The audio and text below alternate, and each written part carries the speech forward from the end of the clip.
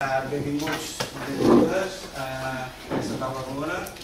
Aquesta taula rodona és el tercer any que es fa, eh? està lligada a l'assignatura del Seminari de Català que és sobre el català col·loquial, que els que no em conegueu doncs soc jo, el professor, Joan Costa, i sempre aconsegueixo enganyar eh, unes quantes ànimes generoses que ens venen a explicar eh, o bé eh, a, a, a, la recerca que fan sobre aquesta qüestió o bé la seva experiència eh, ja treballant sobre el col·loquial fingir, mediatitzant, planificant eh, eh, o eh, fins i tot eh, tenim algun cas que pot donar la visió tant acadèmica com professional. Aleshores, tenim quatre persones, eh, Eduard Bertoll, professor de la casa, que parlarà sobre la traducció del col·loquial en textos audiovisuals, Magí Camps, que eh, adopta un to teològic, i el títol és Llenguatge col·loquial a la GIEC, la GIEC és la gramàtica de l'institut, que tots ara ja comencem a tenir bastant al cap. Dos punts, el purgatori. A les classes també ha sortit el purgatori. Eh? Per tant, eh, ens portarà una mica amunt. David Paloma, eh, eh, professor de la Universitat Autònoma, que els alumnes també coneixen, perquè justament la setmana passada, o dilluns va ser, dilluns vam parlar d'un article dels quatre models, eh? avui ens parlarà d'un altre article, ja us ho vaig comentar, per semblança i de variació autodiatòpica o alterdiatòpica.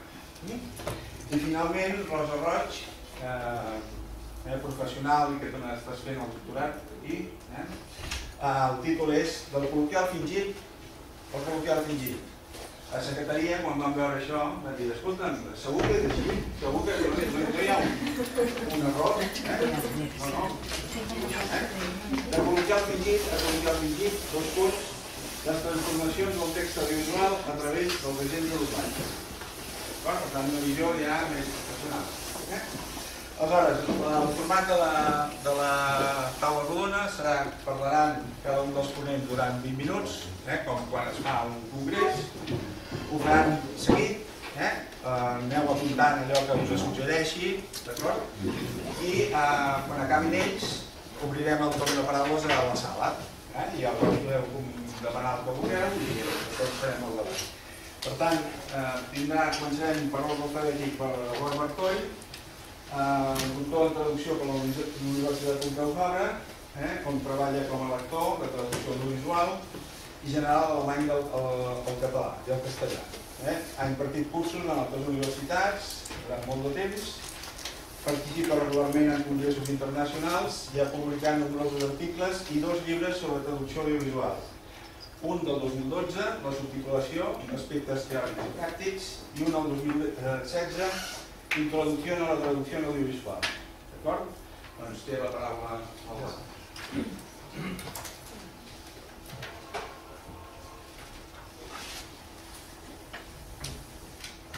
Bé, jo el que us vinc a presentar és un, un projecte, un projecte molt embrionari, d'una mena de traducció, ai, de, de, perdó, de diccionari de situacions per, com a eina per la traducció audiovisual. Llavors, he posat aquest nom, dit que és tot molt, molt embrionari i molt... Bé, seguint el model d'aquests dos investigadors, Koch i Osterreicher, del 2007, doncs ens parlen dels diferents, per exemple, trets que podem trobar a l'hora de marcar la col·loquialitat, el col·loquial. A vegades sovint pensem que això només ho fem eh, en, l'àmbit semàntic, és a dir, a partir del lèxic, però hi ha molts altres elements i moltes altres categories gramaticals que ens poden, que poden transmetre la oralitat. Eh? En el meu cas, jo parlo una mica des del punt de vista del subtitulador. Ja sabeu que la subtitulació implica un pas del que originàriament és oral, la pel·lícula, la sèrie, el que sigui, i ho passem per escrit, eh? amb el filtre que això suposa i les restriccions que això suposa. És a dir, com restituïm no, aquest oral aquest col·loquial que ens arriba per oralment, ho hem de fer després per escrit quan fem la traducció. Bé, aquí teniu alguns exemples doncs, d'aquests doncs, eh, elements, els marcadors discursius, per exemple, els recursos de mobilització, les partícules modals, que evidentment també tenim en català. Per exemple, dins l'àmbit sintàctic trobem aquestes mm, situacions com a les elisions, per exemple, això són subtítols reals extrets d'una pel·lícula, les repeticions per a l'èmfasi, les posposicions, que és una cosa que es fa molt en català, per exemple, de posar primer el complement i després el pronom, o al revés, posar primer el pronom i després el complement. I després, lògicament, en l'àmbit fònic, que tenim algunes, algunes possibilitats, no gaires, però que també és interessant com a àmbit d'investigació, de dir doncs, fins a quin punt a l'hora d'escriure podem restituir aquestes elisions fonètiques, fòniques, perdó, o eh, no ho podem fer. I quin és el límit exactament, que és una de les qüestions que per mi són més interessants. Quin és el límit a l'hora d'escriure aquesta oralitat què és el que puc posar i no posar perquè potser arribaria a fer una transcripció fonètica directament en comptes de seguir la normativa escrita. D'acord? Cal dir que, ja us he dit, jo vinc de la subtitulació, però també això ens serveix bastant en el doblatge, perquè tot i que en el cas del doblatge es manté el canal, oral-oral, també hi ha un filtre, sobretot en ser traducció, que no fa, o sigui que fa, o que impedeix, millor dit, perdó, que, que puguem fer servir recursos d'aquests que són molt naturals, molt col·loquials, però potser sobtarien a l'espectador. És a dir, si doncs això, que sisplau, esclar, no, però perquè ja és una manera de pronunciar-ho normalment en català, però potser en castellà. Posarem pringau en un subtítol, ai, perdó, en un doblatge. Eh? És una cosa que és interessant com a punt de reflexió. Bé, en semàtic ja ho hem dit, tenim, a part del lèxic pròpiament dit, doncs també jocs i figures formals, jocs de figures, jocs de contingut, frases fetes, etc. Insisteixo, tot això està tret de subtítols reals, les paraulotes no cal dir, els eufemismes... I en l'àmbit morfològic doncs també, no? per exemple en català l'article personal, que curiosament a vegades llegint novel·les veig que no es fa servir i mm, no entenc per què, és a dir, si estem traduint al català, encara que la novel·la sigui en anglès o originalment o en alemany o que sigui, a l'hora de traduir-la li hauríem de posar. I moltes vegades no es fa. Eh? Per mi és, és una cosa interessant. L'ordre dels pronoms davant del verb, és a dir, en català normalment, i això ens ho diu fins i tot les a dir, doncs és més natural posar-los al davant que no al darrere, cada vegada més, també en sèries, en llibres, escrits originàriament en català, veig que es posen al darrere sistemàticament. Quan en castellà és més normal posar-los al darrere i no tant posar-los al davant. Eh, elements, o sigui, recursos que potser sovint no fem servir o ens en oblidem, que a l'hora de traduir també són interessants, per exemple l'ús dels diminutius o els augmentatius, que poden fer doncs, això, donar una expressivitat i una col·loquialitat al text que potser no se'ns acudeix. Llavors, eh, la, partint d'aquesta base, i seguint el llibre del 97 que va editar TV3, que són els criteris sobre traducció i doblatge, eh, aquest llibre, ja sabeu, ha servit de base per al portal És a dir, i de fet recull moltes coses que apareixien ja en aquest llibre. Malgrat tot, el que jo ara comentaré no ho he sabut veure, dir, crec que no hi és, per tant, i a partir del que es proposava en aquestes pàgines en concret, això són les pàgines que fan referència als calcs. Per una banda, les, les, el que serien les expressions naturals en català per cada situació i per altra, els calcs de l'anglès. Del castellà, el francès i l'italià, que també hi són en el llibre, no en parlo. Eh? Però m'interessen sobretot aquests dos aspectes del llibre, que tot i que, ten, que ja té més de 20 anys, crec que són actuals i que serien el que per mi serviria per fer una, partint d'aquesta idea, crear una mena de diccionari online on poguéssim recollir diferents situacions per, quan nosaltres volem traduir, ens centréssim en la situació i no tant en les paraules. Eh? Per tant, aquesta és la idea. Veieu? Per exemple, tot això està extret del llibre, són poques pàgines, eh? ja ho he dit, veieu? Són de la 53 a la 58, és un problema aquesta informació, quins són els recursos que es fan servir en català per saludar. Llavors, no tant a l'hora de traduir, centrar-me en les expressions concretes que es diuen en anglès, sinó a partir de la situació s'estan saludant, què és el que es diria. Eh, llavors doncs, podem trobar que això, que tenim moltes més solucions, com per exemple com anem, com va, eh, eh, com va això, com va la vida, què fem, eh, que, que potser no se'ns acudeixen quan traduïm perquè ens centrem massa en el text original. Bé, el mateix, eh, interpel·lació, valoració dubtosa, reprovació, per exemple, aquí sembla molt interessant, tant aquest mare meva com o ai mare, com ai ai ai, que sovint jo penso, per exemple, com a possibilitats de traducció d'un oh my god en anglès. En anglès es fa servir moltíssim, sovint, molt sovint es tradueix literalment Déu meu o Déu meu, però en canvi no és natural, no és col·loquial. Per tant, si, per, si mirem la situació, veurem què es diu això i en català què es diu això. Doncs llavors ens centraríem més en la situació que en les paraules concretes. Sé que potser també pel públic això pot resultar estrany, perquè ja sabem, precisament, sobretot en la subtitulació, com que hi ha aquesta crítica que tothom mm, té accés a l'original i a la traducció alhora, doncs molta gent es permet, i a vegades amb raó, a vegades no, a criticar la traducció. I diran, oi, doncs aquí he dit oh my god i aquí el Déu no apareix per enlloc. Però obliden, o no tenen en compte, que no estem fent una traducció literal, sinó adaptada a això, a la situació. D'acord?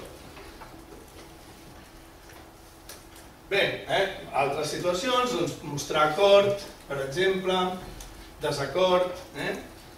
Mm, silenci, com fem callar algú, que es diu, però fàstic, dubte, eh? veieu aquí, dubte sobretot en iniciar una, una conversa, no? el d'això, el d'allò, el d'aixonses, d'allonses, vull dir, que potser realment a l'hora traduir no se'ns acudeix tant, però que en canvi, almenys fins ara, continuen sent bastant naturals.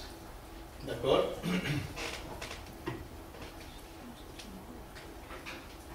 Bé, situacions compromeses, eh, que també podria servir per aquest oh my god, a l'avís, al dolor, encoratjament, disculpa, eh, ja sabem, per exemple, se'ns diu sovint que en català ho sento, no és correcte, però ens apareix a tot arreu, que segurament al final l'acabarem acceptant o ja haurà estat acceptat, però doncs tenim altres, altres situacions i per tant, en una situació de demanar disculpes, què és el que es fa servir? En anglès, què es fa servir en català, què es fa servir en castellà, què es fa servir en francès. La idea és aquest, que sigui un diccionari de situacions dels diferents idiomes i també dels diferents cultures o països, perquè podem trobar que en l'alemany, per exemple, a Àustria es diu una cosa i a Alemanya es diu una altra, o a diferents parts d'Alemanya es diu una altra. Si diem servus, doncs ja pensem, segurament és del sud o és d'Àustria, no és del nord. O, per exemple, cal dir de l'anglès, que té tantes, tants països on es parla aquesta llengua. Per tant, les diferències són importants.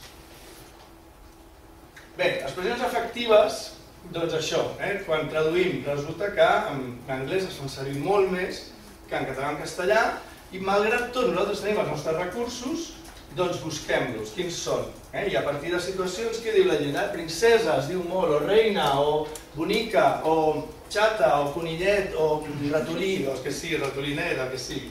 No? I en castellà no cal dir. Ho poso perquè és interessant que quan les pel·lícules americanes es diu darling, vegades posen querido, querida, que és una cosa que no es diu, és dir, es pot dir però en, uns contextos molt determinats i en canvi s'obliden de dir carinyo, per exemple, o cari, doncs que es fa servir moltíssim. Eh? L'altre dia vaig veure una pel·lícula subtitulada en català i deia Amoret. Bé, podria ser, eh? però en tot cas Bé, llavors aquesta seria la part dels cals de l'anglès, que també és, precisament per evitar això, clar, és una llista molt extensa que no cal que la, que la comentem tota, però doncs, evitar, no? buscar. Resulta que en alemany, jo què sé, ai, perdó, en anglès es diu hello quan despenges el telèfon. Doncs, jo he vist pel·lícules on han posat hola i no, no és la manera. O sigui, potser avui dia el més habitual és dir sí, que es, es diu en molts idiomes, és a dir, sí, ja, el que sigui, eh? ha molts altres idiomes, però no hola. A no ser que sigui el mòbil i sabem qui ens està trucant, llavors diem sí, hola, tal, però ja és diferent. Eh? Si no sabem qui és, diem sí o digui. O digues o que sigui, però no hola. Si entrem en un edifici, podem dir hola i cada vegada es diu més, però potser també diem que hi ha algú. Diu, eh, O, eh, vull dir, si volem cridar l'atenció, doncs diem hello, diem hola, no, eh, perdó, perdó, diem hey, eh, eh, vull dir que potser, doncs senzillament a partir d'aquestes situacions podem tenir aquesta mena d'informació. Vull des, voldria destacar una, que surt aquí, aquest, uh, no, bueno, el really, no, però el que seria el Are you kidding, per exemple, no sé si el tenim eh? vull dir, tot això no cal que us ho expliqui tot, però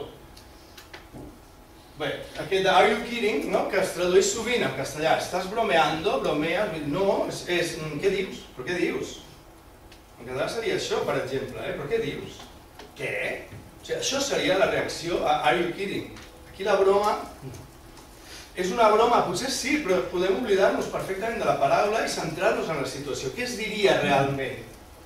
I oblidar-nos del contingut lingüístic per poder tenir una traducció realment efectiva i operativa i correcta. Eh? Bé, eh, el que sigui. Molt bé. Insisteixo, eh? tot això és una llista que està extreta d'allà, lògicament, d'aquestes poques paraules. Una cosa interessant, per exemple, el well en anglès, no? Doncs en castellà sempre bien. Bien, vamos a tal. Bien, no, bien no, mal mal, perquè realment no es diu, es diu, bueno, vale, sí, bueno, sí, vale, sí, però bien, si estem en català lluitant per no dir bueno i dir bé, i resulta que les pel·lícules traduïdes de l'anglès en castellà es diu bien i no bueno. Doncs no té molt de sentit. Bé, en definitiva, us poso un exemple de català. Clar, la, la proposta d'aquest diccionari de situacions la idea és que es fes a partir de, de, de, material de ficció, de material visual de ficció, podria ser també real, però és molt difícil. Perquè si és real, hauria de ser espontani totalment. Per tant, voldria dir una càmera oculta. És difícil. Al moment en què algú es posa d'una càmera per fer alguna cosa, ja no és totalment espontani. Encara que no hi hagi un guió al darrere. Per tant, jo crec que els propis productes, els que els productes propis que tenim de sèries, sobretot en català, però també algunes pel·lícules, ens poden servir per aquest material. Tenint en compte que a vegades també, eh, poden ser, pot haver-hi molts castellanismes o el que sigui, però ha de veure un, per exemple, però, per altra banda, tenim aquests recursos d'expressivitat natural. Ai, Quan estava gorda, perquè estava gorda, i ara perquè no menjo. Voleu deixar un pau? Au, i que et poni, home, per favor. teva, que no deixes una paraula de boca, eh? Era una broma, tia, una broma, ho No entens? se m'ha fet puta gràcia. És que no se pot dir res, Maria, Mira, collons. com que no puc demanar una mica de sensibilitat, perquè tu la sensibilitat la tens a la punta va, Que Maria, com a mínim, com a mínim, dic, em podries tenir una mica de respecte. Mira, tio, tu el que passa és que estàs imbècil. Ah, Xema, Xema, Xema, no et passis una cosa, no? Ei, nena, collons, és una histèrica. Passa que jo sóc una histèrica mal educat de merda. Maria, tranquil·la, que segur que si em parleu amb calma... Mira, tu calla, calla, calla i no t'hi fiquis que sempre t'has ficat pel mig. Escolta, que jo només volia... Què, què, què, què volies, què volies? Sempre preguntant, sempre fent el sentet, vés a la merda, home. Això, molt bé, doncs a la merda t'aniràs tu, Maria. Que jo ja estic fins als collons d'intentar que hi hagi una mica de bona ambient en aquesta puta productora, vale? Espera. Bueno, eh, és un exemple, senzillament, perquè eh, veieu doncs, que molts dels trets que comentaven, sobretot els trets històrico-idiomàtics que ens presentaven, els històrico-discursius que ens presentaven com Österreicher, apareixen aquí. Però a més a més, doncs, d'una manera espe- es- molt suposadament doncs, natural respecte al que seria una situació d'aquestes en català. Eh? Per exemple, jo crec que moltes vegades aquest fuck you de l'anglès la manera millor de traduir-la seria vés-te'n a la merda, que ha sortit aquí, per exemple, que és un insult important. I ens oblidem del sentit literal de l'anglès perquè en tant se val, és a dir, clar que el té, però també s'ha convertit en un insult i l'important és la càrrega que té com a insult, no el sentit literal. Per tant, vés-te'n a la merda, jo crec que pot ser molt fort, segons també com es digui, lògicament. Llavors, aquesta és la proposta, i amb això acabo. Doncs un diccionari online, l'ideal seria que fos eh, 2.0 participatiu, que es pogués crear com una mena de Wikipedia, a partir de fragments de productes audiovisuals, sèries, pel·lícules, etc. De ficció o no ficció, que passa que la no ficció seria més aviat documentals, etc. I pensant que amb els drets doncs, podríem potser extreure de YouTube, que ja estan penjats, i per tant doncs, seria una manera de no tenir problemes amb els drets de les pel·lícules, segons les diferents situacions comunicatives, com hem vist abans, no? salutació, desacord, etc. I segons cada llengua i cada cultura, per, com a eina, sobretot per la traducció visual, però no només, sinó també per la traducció general, pot ser una novel·la perfectament, i també, sobretot, com a aprenentatge d'idiomes. És a dir, una eina que pot servir. Com se saluda en alemany, com se saluda en francès, com expressa rebuig i oblidar-nos d'aquella idea de la literalitat, de senyir-nos excessivament amb les paraules. Com no podia ser, col·loquialment, merci per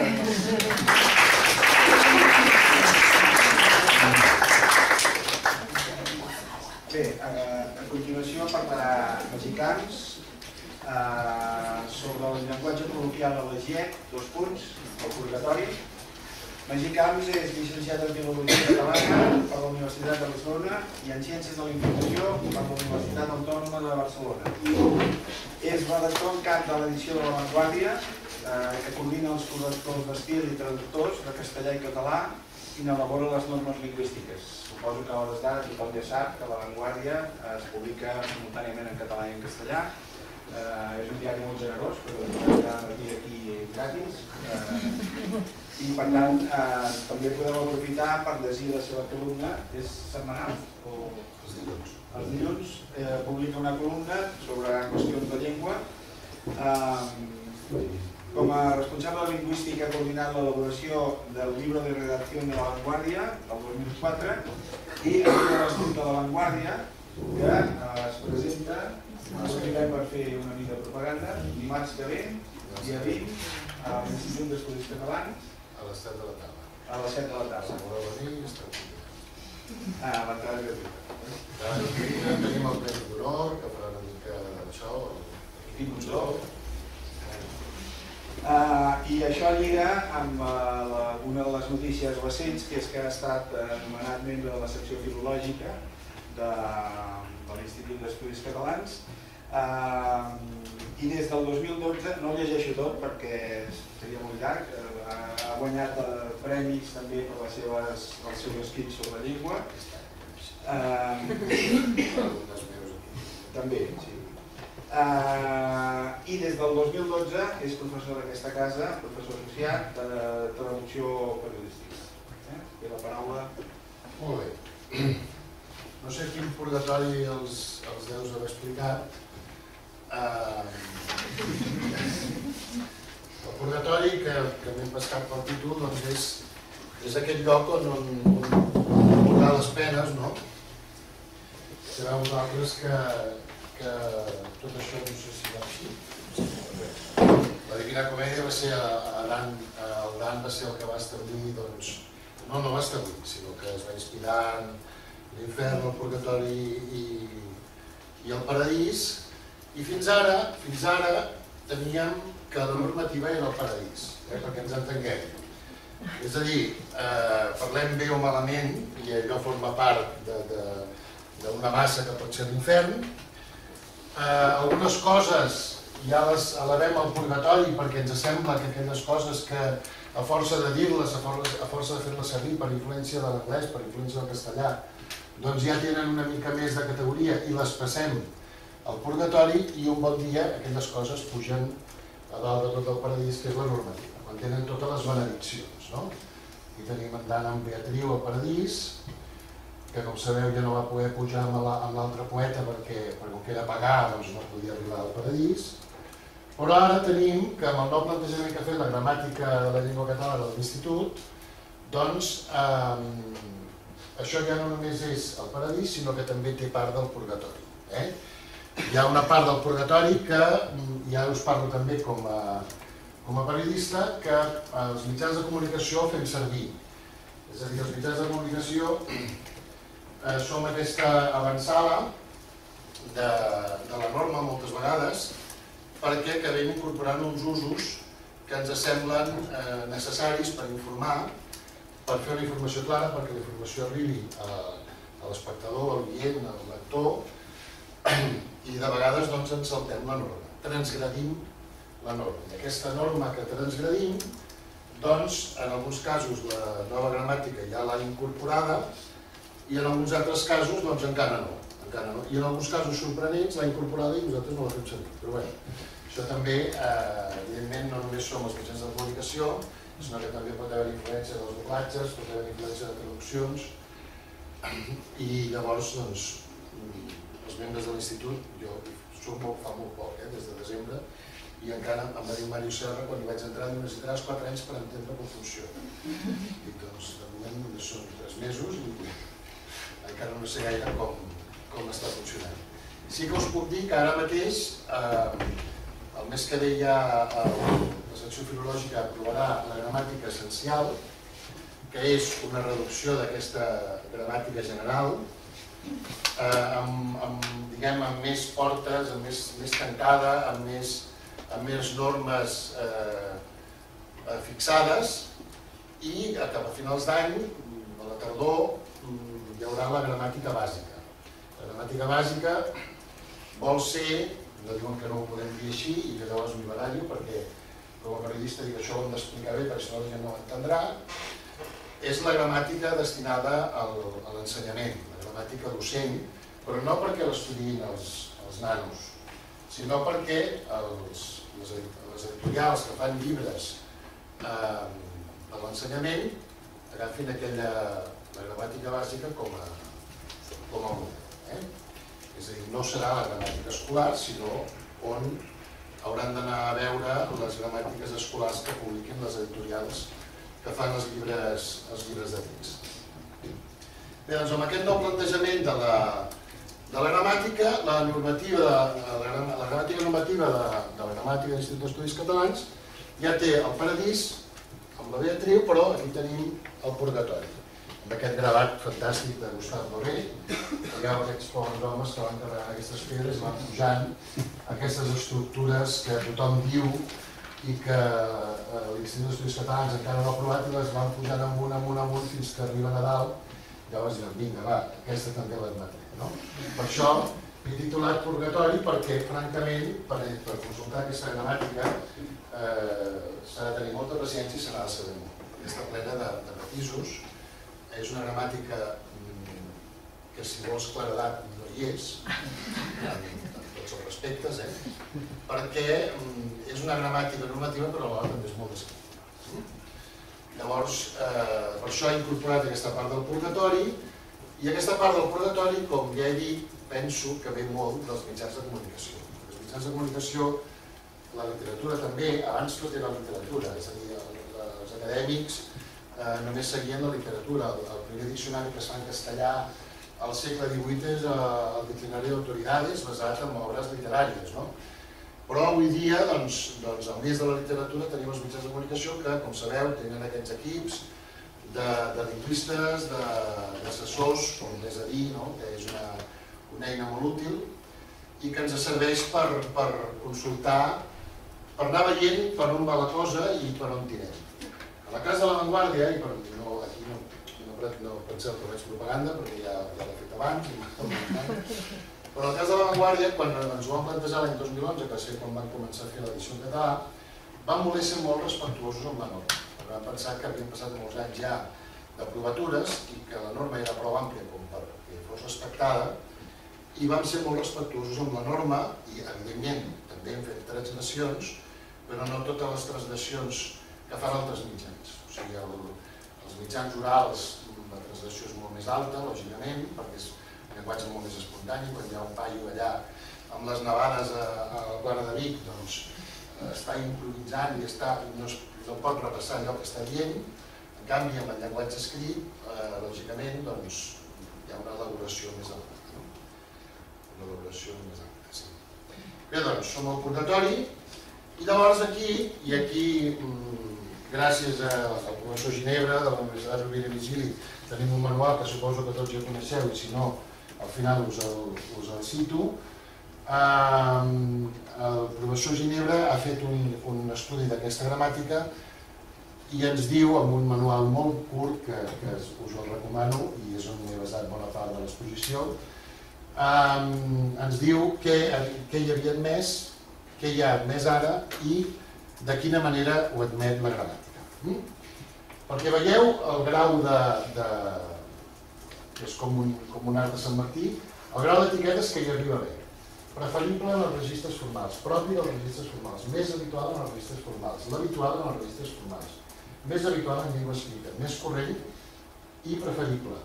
S'usa preferentment, se sol mantenir en registres formals, tendència en els registres formals, forma tradicional, tradicional i preferible, és a dir, per donar i per vendre. Uh, Fixeu-vos que les etiquetes són majoritàriament per justificar la norma establerta, la que ja teníem. És a dir, eh, ens agradaria que tothom seguís dient en arribar, però mm, perquè és eh, tendència en els registres formals, però també admetem ara a l'arribar. Mm? Per posar un exemple. És a dir, sempre justificant o intentant que hi hagi aquesta, aquest respecte per la norma eh, clàssica, per la norma de Fabra, bàsicament, eh, i que no la cosa no se'ns desmarxi gaire, perquè la cosa ja està molt desmarxada. Però mm, està bé doncs, que la gramàtica intenti això. No?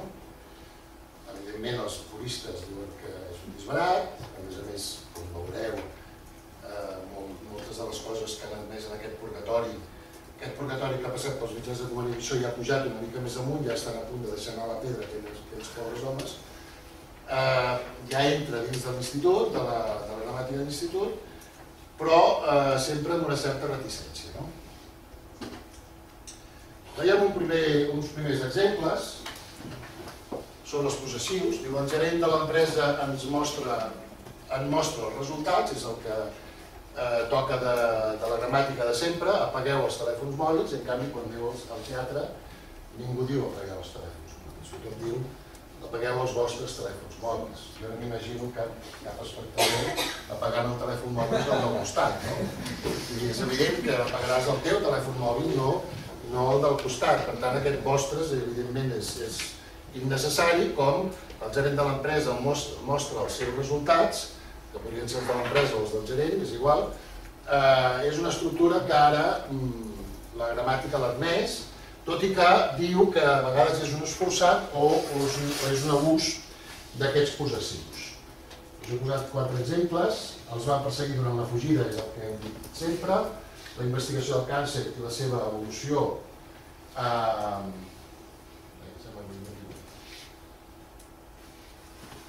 aquí he barrejat, aquest hauria d'estar baix.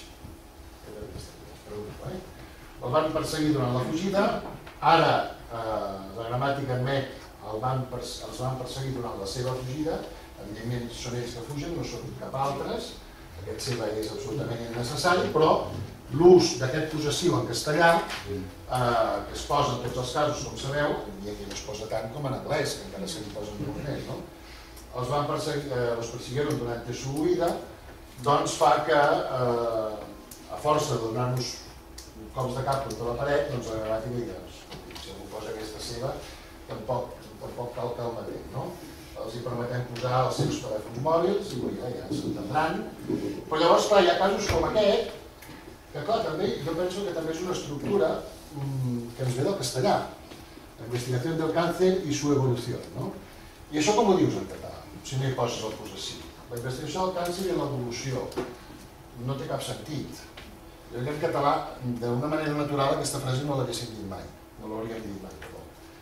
Eh, en català hauríem dit eh, el càncer, eh, evolució de la investigació o evolució d'investigació, no sé. Hauríem fet o, o com evoluciona la investigació del càncer, l'evolució de la investigació del càncer, hauríem fet una frase completament diferent. Però per influència, suposo, del castellà, doncs també han acabat admetent aquesta, aquesta estructura. Bé, abans ja ho deia, l'avançar als mitjans de comunicació i ara els exemples que, us, que ja que us he portat, tots són exemples que els mitjans de comunicació ja havien beneït. Ja eren transgressions, els mitjans feien servir, alguns el llenguatge no els feia servir, però això és menys. Eh, el punt avui no feia servir cap perquè és molt més estricte amb la norma, els de Vilaweb encara són més enrere, i van replicant atuells, amb tantes solades, Uh, però bé, això són opcions de cada mitjà de comunicació absolutament vàlides i respectables. Eh? Vull dir, també van adreçats a un tipus de públic i volen arribar al seu públic de la manera que, que ells consideren. No? Uh, per exemple, a la web diuen sondatges encara. No? quan a tot arreu parlem de sondejos. Mm, Per què? Perquè són puristes fins al punt aquest de no admetre cap paraula eh, que hagi arribat. Bé, la norma Coromina Solar sobre el PER per A, que com sabeu, bueno, no sé si sabeu, però als anys 80 amb una proposta que van fer Pericà i Totem se la van voler ja, no, no carregar el PER i el PERA, sinó que no hi hagués mai el PERA, perquè és veritat que en el català de Barcelona no diem mai PERA, oralment, no ho diem. O sigui, totes aquestes frases de baix, novel·la, en, en el català de Barcelona direm novel·la, per adolescents, un regal per tu, la reunió és pel dia 27 i nous projectes pel 2020. Eh?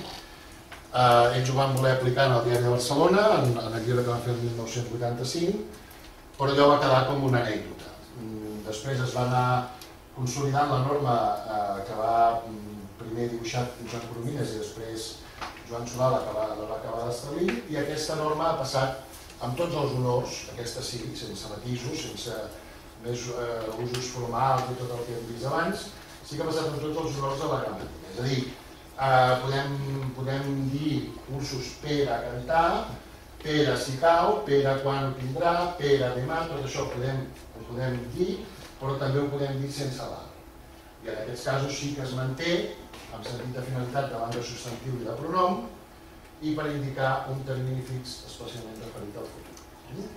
Novel·la per a adolescents, un regal per a tu, la reunió és per al 2027 i nous projectes per al 2020.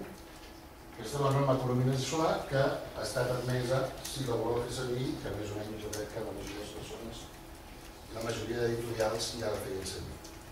Quan és això? 5 minuts. Sí, minuts. Molt bé. Coordinació de preposicions, amb el qual i sense. Això és molt també del castellà, amb i sense el qual. Eh, I ens diu que s'ha restringit a llenguatges d'especialitat.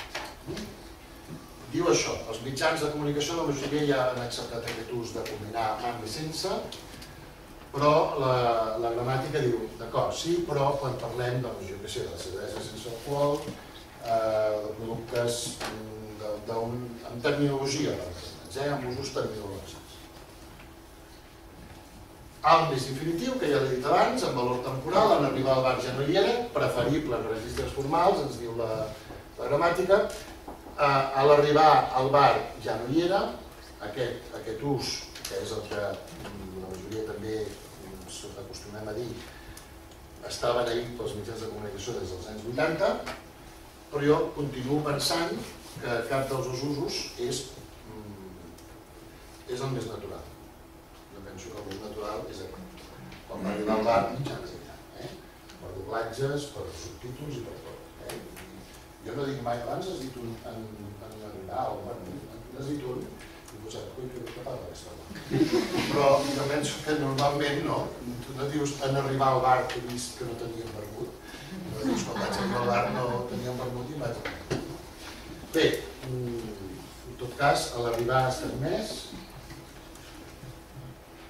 Un altre cas, diu ús de llenguatge periodístic, diu la gramàtica, que és un, i jo penso també que és per influència del castellà, que és a falta de 10 minuts per acabar el partit, doncs s'han picat un penal, no? per exemple, i que la cosa més natural, i el que hem dit sempre és quan falten 10 minuts per acabar el partit, doncs han picat un penal. Uh, queden 10 minuts, s'està acabant el partit, 10 minuts, un minut 80, piquen un penal, no sé. Ara que ens hauríem d'imaginar el Royal o el Pou transmetent, però aquesta falta mm, veieu que també ve molt del castellà. No? Aquest ha estat admès amb folre i manilla, és a dir, mm, feu el que voleu, el podeu fer servir a partir d'ara. Um, he de dir que és omnipresent. Eh? Aquest por- porta tres dies sortint, porta una setmana gripat, eh, porto dos anys treballant en aquesta empresa, és un ús eh, que ha entrat eh, amb molta força i que l'institut l'ha- acceptat sense, sense problemes. La doble negació no obligada, tot i que ens diu que és preferible en registres formals, ara he posat aquest vers d'en Parracell que perd tota la gràcia, no? de tant, tant haver-lo sentit i cantat i tot, però eh, en tot cas també és veritat que quan parlem tampoc no vindrà i aquestes coses moltes vegades ens mengem la doble negació. El no obstant, com a connector, tot i que diu que és més enllà dels rites formals, el no obstant això i el això no obstant, parlant, no sé si ho diem, jo penso que parlant és un, és un connector que es fa servir poc, de manera espontània, si no és amb un llenguatge elaborat, però ja sabeu que ara, no obstant, doncs, que ja feien servir doncs, el periòdico i l'ara, per exemple, doncs, ja està, ja està beneit. Aquest ús, tots els mitjans el feien servir, i molta gent no sabia que era incorrecte, el verb votar amb un complement directe de persona no es podia fer servir. Aquests, aquests usos, fins fa un any, eren incorrectes, no eren normatius. Votarem Puigdemont o votarem Rajoy, era incorrecte. I ara ja es pot fer servir amb complement directe de persona. Fins ara havíem de dir votarem a favor de la candidata republicana o ell vota per la Romagosa, amb el a favor de o per alguna persona. Això sí que els mitjans de comunicació ja ho havíem acceptat eh, sense que amb tots els usos. Eh? També ens permeten ara els galicismes gastronòmics, que queden molt més bé perquè tu diràs, t'esperes amb bones, però t'esperes al vi ja són una altra cosa de gran dimensió, no? Una ara que la taronja, doncs això. Uh, evidentment l'expressió genuïna i preferent és uh, la producció amb o la que toqui, però que aquest, allò no, uh, vistet, no sé què, el perfum de la tòfona, doncs, aquest el perfum, que una vegada, amb una conya que vam fer l'Empar Molina i el Quim Monzó a la ràdio fa molts anys, van, estaven desesperats perquè deien, ara faré un parèntesi, ara em descomptarà el Joan, que deien, deien que la gent diu en Moncloa, no? Uh, Nacions Unides, no? ara estic dient en castellà, és igual. Les Nacions Unides, tal, es mengen els articles, però són la Moncloa, les Nacions Unides, i diu, ja els hem trobat, són les cartes dels restaurants. A la... Els hem trobat on han anat a parar tots aquests articles. Doncs bé, aquests, aquests bla, el caldable presidencial papa papa, que no eren, eh, no eren normatius i que es feien servir, doncs ara ja, ja ho són també, ja ens els han admès, aquí sense problemes, i sense etiquetes, endavant les anxes, i aquest exemple que també és el doblatge, digue'm, digue-li, en ús col·loquial, jo no he sentit a ningú que no digues, digues, però segurament hi ha gent, no sé, que empenyen, que fa aquestes geminades, que mentida, doncs també deu dir, digues, no,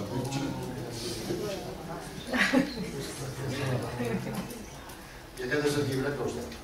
Eh? La nova normativa de l'Estat d'Estudis Catalans i de Pràctica de Jordi Ginebra, editat per la Universitat de Virgili, i que hi trobareu tot això. No? Ara quan vingui l'essencial i me l'hagi pogut estudiar bé, doncs ja l'encaré, ja us explicaré l'essencial i la bàsica. De moment jo ja la puc consultar perquè la tenim penjada, però és una comunitat extraordinària, està per capítols i has d'anar obrint cada capítol i és molt difícil d'anar veient el que, el que està restant. Moltes gràcies. Mentre hi ha el canvi de ponent, doncs no, no m'ho treguis un moment. Eh, Ai, Joan, Joan. no, no, no, totalment. Sapigueu que aquesta obra està en línia.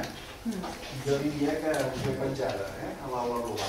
Sigui que no teniu perdó de Déu. Bé, el tercer ponent... Eh, sí. En, en tot cas... Eh, sí. Perdona, Joan. No passa res, ja, ja ho aguantem. Són dos- són alumnes 2.0, o sigui que... Bé, mentre hi ha canvi de tecnològic, aprofito per eh, presentar un bon amic, David Paloma, encara que treballa a la competència, eh, hem col·laborat en moltes coses. És doctor en Filologia Catalana, és professor de llengua a la Facultat de Ciències de la Comunicació de la Universitat Autònoma. Ha escrit eh, amb, amb altres eh, autors eh, sobre temes de, de, sobretot d'ortoèpia, diccionari de pronunciació en català, diccionari de dubtes i barbarismes, guia fonètica per a televisions locals, diccionari dels dubtes del català eh, i eh, també col·labora a la competència dels mexicans, el punt avui, amb una columna setmanal, mensual, mensual, eh, també doncs, podeu per tant, a- anar llegint. Eh, insisteixo que a classe vam parlar d'un article seu, eh? aquell de, ens vam fer, van haver d'aprendre matemàtiques, no trobaria teoria de conjunts, eh? aquelles rodones i tot allò, eh? Aquelles interseccions. aquelles interseccions, d'acord? Eh, no sé si t'han xiulat les orelles últimament. No, però aquí no hi ha interseccions. Eh? Eh, parlarà d'un altre article. Va bé. Gràcies d'entrada. Agrair al Joan Costa que m'hagi convidat en aquesta taula allargada. És una satisfacció poder compartir la taula amb l'Eduard Marcó de Mexicans amb el Roig. Jo, de fet, vaig escriure una tesi fa més de 20 anys, una mica més, sobre les sèries de televisió i del català. I és un tema que sempre m'ha interessat, però va haver un moment que es va disparar el nombre de sèries, perquè quan jo ho feia hi havia el Pla Nou i qualsevol cosa més. I després vaig haver de trobar una persona que quan jo li preguntés et sona si en un capítol allà el personatge que s'enamora de tal... Sí, aquí puc fer sense parar la sèrie. Aleshores no l'haig trobat, amb la sort que és aquí, que és la Mònica Montserrat, i com que amb ella hem treballat eh, això, us explico eh, el que hem anat fent. Eh, remenant la bibliografia, doncs, creiem que hi ha tres àmbits, qui diu tres, quatre, tres àmbits on sempre s'ha posat l'accent. Parlem de sèries i de llengua en català. L'ajustament a la norma, el grau de formalitat i la subjecció al canal audiovisual. Això hi ha moltes, molts articles sobre això. Esclar, i en aquests tres àmbits s'hi ha, ha relacionat sempre la versemblança. Eh, La versemblança em quedo en el nivell bàsic de qualitat de versemblant, de, que sigui creïble, que, que ens ho puguem creure. No? I aleshores, lligant-ho amb els tres àmbits d'abans, clar, es diu si la llengua d'aquestes sèries de producció pròpia, eh? no penseu en traduccions, ara, segueix la norma, mm, si no segueix la norma falla la versemblança, o pot fallar.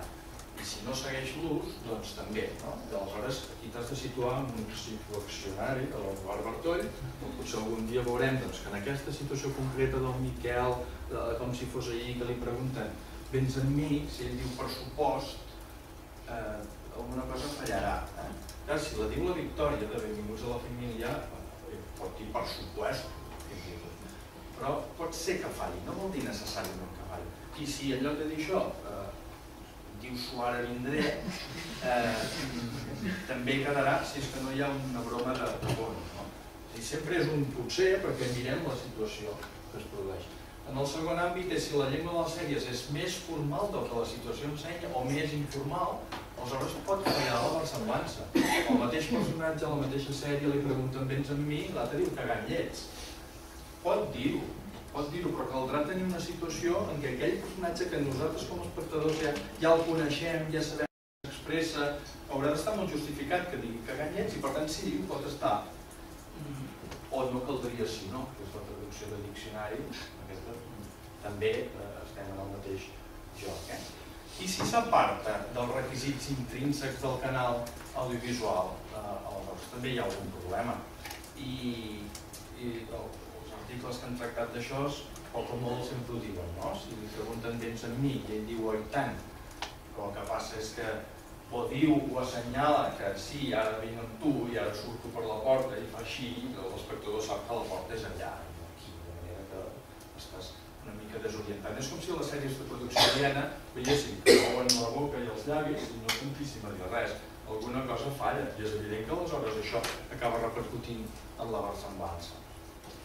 Però el quart sector, o l'àmbit d'interès, i que ha, quedat, ha passat una mica més per alt. No vol dir que com a som una societat en què el fet dialectològic ens interessa molt i ens motiva i per tant quan surt el cartanyà ah, ja sabem què passa o quan, eh, el Gran Nord, eh, tots les antenes tretes, però en canvi des del punt de vista de la recerca mm, no ha generat tant d'interès, eh? Que és la descripció de les tendències en aquesta variació diatòpica, eh, els geolectes, de les sèries de producció pròpia. Això ha passat una mica més desapercebut. Aleshores aquí sí que ja ens vam abocar i vam tirar pel dret i vam dir a veure, quants capítols mirarem per fer l'article que volíem? I vam dir, doncs mira, 96. Eh, 96 d'una forma desequilibrada, eh? perquè hauríem pogut fer 4 i 4 i 4. Per què en desequilibri? Perquè si Per què amb aquest equilibri eh, ho hem desestimat? Mm, perquè així hem pogut recollir casos que sabíem que sortien aquí, que sortien allà, i si només ens haguéssim agafat quatre sèries de, de TV3 comparades amb tal, hauríem perdut, hauríem perdut eh, mostres. Eh? Potser des d'una òptica de Barcelona, potser queda més lluny les sèries d'IV3 aquestes, Laberint de Passions, l'Anell, el mossèn Capellà o el Canal 9, doncs les que, les que veieu aquí. Aquestes també les hem vist i aleshores nosaltres hi diem, ja entrant en la variació diatòpica, nosaltres o, o fi, pensant en, això, ens adonem que emergeixen tres factors relacionats amb llengua i sèries. Els tres són, aquí hi ha un actor o una actriu que té una variació diatòpica, una varietat diatòpica pròpia.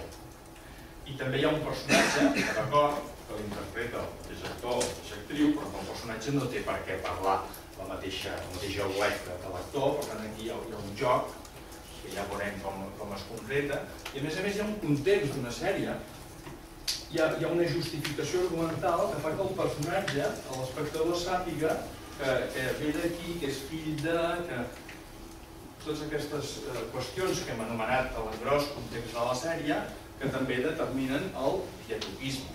Si no us agrada diatopisme, diatopia, i si no, doncs és igual. No? Quina, quines reflexions hi fem entorn d'aquests tres eh, com del que deia? Doncs, a veure, en el col·loquial fingit, en aquest col·loquial fingit de les sèries de televisió, hi ha una interacció interessada. Una interacció interessada que fa avançar l'argument. Que l'argument, fins i tot quan fins i tot quan els personatges no es diuen res, ja ho sabem com a espectadors, que no es diuen res per alguna cosa i que està passant, està avançant la trama i la història. En aquest binomi, actor, actriu, personatge, esclar, no es pot desvincular de la variació diatòpica, això és una mica la hipòtesi que teníem d'entrada, eh? és a dir, això no ho podem deslligar, com no es pot desvincular de la justificació argumental. I això ens portava a pensar que és que aquestes qüestions, no l'índex d'audiència de cada sèrie, no l'èxit que té, no si ens agrada més o menys, no si s'interpreten millor o pitjor els actors, no. La versemblança pot fallar, que no vol dir que falla un bloc i després, oh, quin desastre, perquè no és veritat, oh, quin desastre. Quan a Secrets de Família, amb aquestes antenes tretes que tenim tots, van fer Secrets de Família, és una sèrie de fa uns anys, eh, TV3. Eh, resulta que tots eren fills de Girona. Eh, no em digueu, no, aquell no. La majoria de personatges eren presentats com a fills de Girona i no parlaven gironí.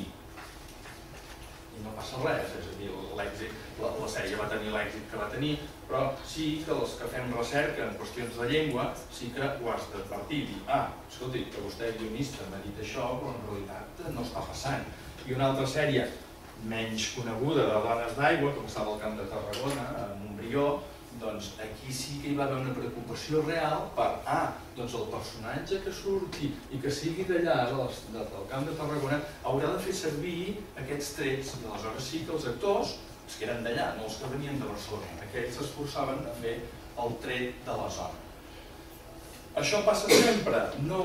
Eh, és a dir, eh, si a Vent del Pla tens una sèrie de personatges que són de, de la selva, de la selva comarca, i hi ha algú que, que et diu que és filla d'allà de tota la vida i resulta que parla d'una manera que ja veus que no, que queixava, doncs, esclar, sempre ho pots notar, no? Però el cas és que la clau, l'origen de tot això és, miri, en relació amb el diatopisme, o l'actor comparteix la varietat diatòpica del personatge o no la comparteix. Si, si no la comparteix mm, i, i no sap compartir-la, falla alguna cosa. I si no la comparteix però sabrà compartir-la, ah, parlem-ne, perquè això, perquè estem davant de bons actors al país, per tant és que què estan fent quan la saben compartir? I aleshores aquí veiem doncs, aquestes dues paraulotes del començament, la variació autodiatòpica i l'alterdiatòpica. L'autodiatòpica és la més... totes dues són, són simples d'entendre, aquesta diríem que és el cas potser a què estem més acostumats. És l'actor manté la seva pròpia varietat a l'hora d'interpretar lingüísticament el personatge. És a dir, en aquest cas el guió no li exigeix res, sigui quin sigui el context de la sèrie. En aquí mm, trobem mm, dues distincions que ara, que ara veurem. Clar, en aquest joc, quan fèiem tot, el, el mètode venia a dir ai, doncs el que hem d'arribar a veure és en una graella on hi ha 25 possibilitats, on el parlar de l'actor està en l'eix vertical, un actor que sigui central, un actor que sigui baleàric, rossellonès, nord occidental i valencià, en un context de sèrie que sigui tal, ja ho tenim allà, eh, quin joc dona la variació autodiatòpica? El joc que dona és que, miri, l'actor manté la seva pròpia varietat quan interpreta aquell personatge en una sèrie central. L'actor central fa això una sèrie central. Ho fa sempre, sigui quin sigui el context de la sèrie. Des d'aquest punt de vista, és, aquest és el cas no marcat i els altres tenen més gràcia. I ara ho veurem. I així mateix amb la resta de casos. Clar, quan arribes aquí, que és la teoria, pots dir, i això m'ho pots omplir amb els 96 capítols i les caselles que has trobat, no amb els noms dels actors i de les actrius i de tot, perquè no, només amb un eh, ho puc més o menys entendre, sí. Mira, el cas no marcat és l'Emma Vilarasau fent l'Àulia Monsolís en Issaga de Poder, cas més habitual que estem acostumats, i, clar, i sí, mantenint la pròpia varietat, l'Anna Ubach, que és l'Aina Clotet, a Gran Nord fent de mossa d'esquadra, en un context diferent. I l'actor no fa res més que Aquí veieu altres casos, eh? I La, la gràcia són les caselles buides, també. Si hi ha caselles buides és que alguna cosa passa. En Baleari, el, el no marcat, aquest d'aquí, un actor que manté en el personatge la seva pròpia varietat, en una sèrie, en aquest cas eh, baleàrica, mossèn Capellà, no? la Catri Solivelles fent de Petra. Però en canvi, el professor de la Júlia de Poblenou mantenia eh, la varietat mallorquina en un context en què la resta de personatges eren centrals. I així... 5 minuts. 5 minuts. I així els altres casos. Nord-occidental, igual, el cas, diríem, els casos en diagonal, en aquella graella serien els més habituals, els altres serien una mica més marcats. Conclusions. Miri, hi ha un cas irrellevant o no marcat, que és mantenir-ho i els altres casos més rellevants és mantenir-ho, mantenir-la, la varietat, en un context en què en domina un altre. I també els de les caselles buides.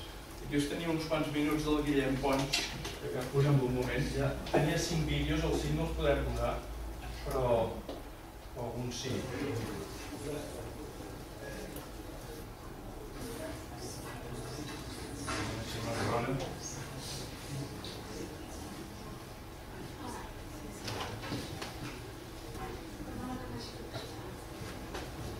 Si no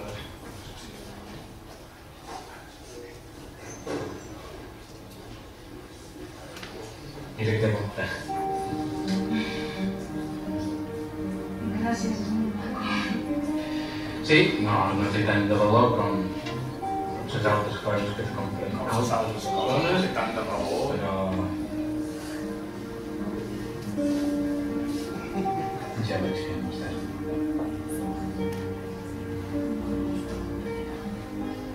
Estic molt contenta que m'hagis trucat. I jo estic molt content que hagi he pensat i t'ho he dit amb Sant Pau l'altre dia i que supos que hauria estat millor que t'hagués dit que tot d'una que és el que pensava de tot. tot d'una i tal. Aquí hi ha la Novak, la mossa d'esquadra parlant en central, i aquests que són actors centrals, això serà l'altra banda, de la varietat alta diatòpica. Els altres, aquests, Manel Barceló, Un generador elèctric, per poder tenir electricitat a la fonda, si no hi ha llum no hi ha ni. No, això ja ho sé, Manolo. Però anava sense el cinturó posat, t'hauré de muntar. No faig mal a ningú per no posar-lo cinturó. que no posava, que no fa mal a ningú. I jo he de vetllar per la vostra seguretat, no sóc el cavaller protector. Bueno, bueno, no us enfadeu. Si hem fet un trajecte ben curt. A més a més, la furgoneta té aigua. El trajecte Potser sigut que això també fa un alta taxi. diatòpica. Hem de prendre i portes l'aigua? Tu saps que no hi pots anar així, no? Sí, sí, per aguantar el generador, per seguretat. El generador ha d'anar lligat. A tu sí que t'hauries de lligar ben curt. Deixo estar. No pague la pena, que hi ha mosso. I si no toquen els nassos no estan contents. Molt bé. Doncs ja passaré d'aquí una estona a veure si el generador compleix totes les normatives. I un altre, eh, la varietat.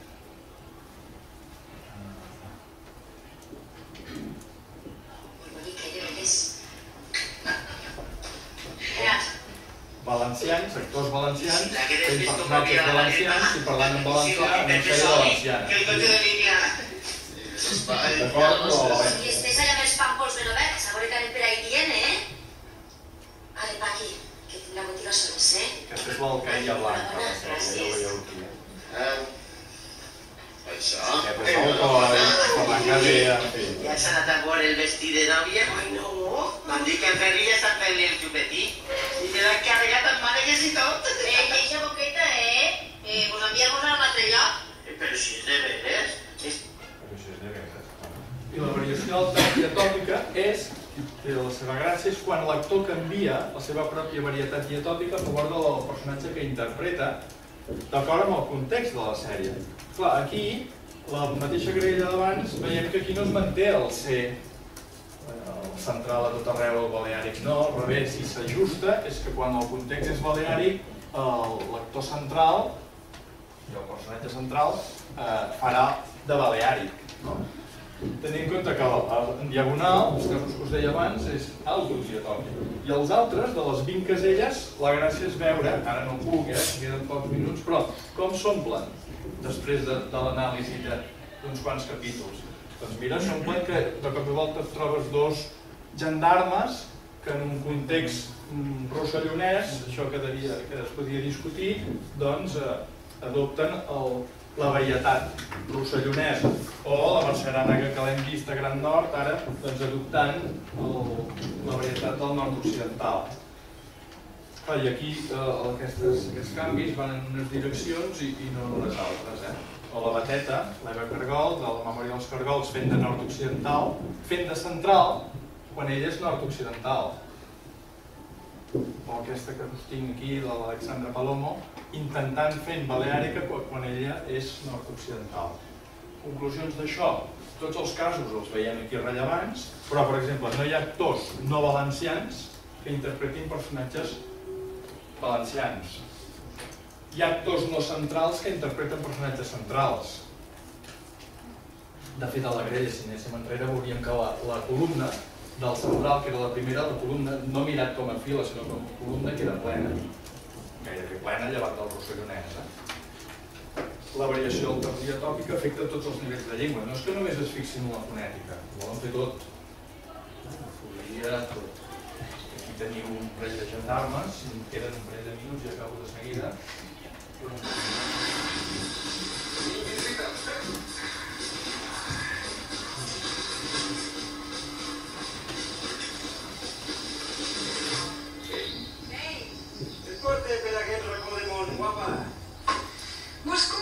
persona de nord. Mira, tornes per un altre indret, tot recte avall, i ja veuràs un desviament que diu nord. Allà en trobaràs sense Els accent. actors són centrals. Ja, però és que la persona que busco acostuma a passar per aquí. Per la frontera.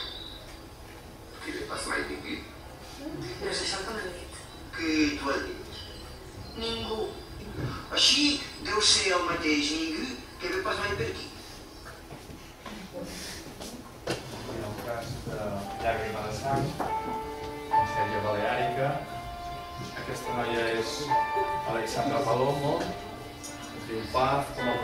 a personatge, és tortosina, i farà una barreja, clar, si saps l'argument o si saps la seva història, és que ella és andalusa i aleshores ja fa temps que està situada a Palma, parla mallorquí, però quan se li- s'enfada li surt l'andalús i quan parla normal fa barreja.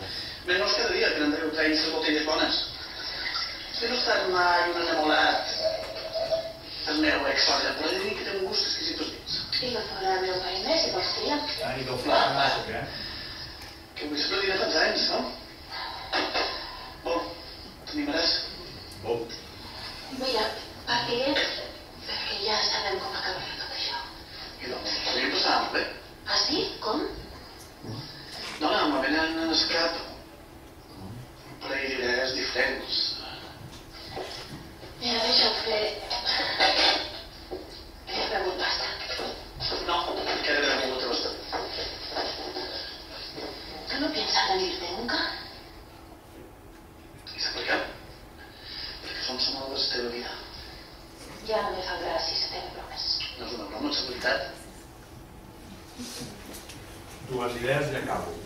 Per a cadascun dels accents estàndard, davant del rossellonès, hi ha actors que mantenen la seva pròpia varietat diatòpica.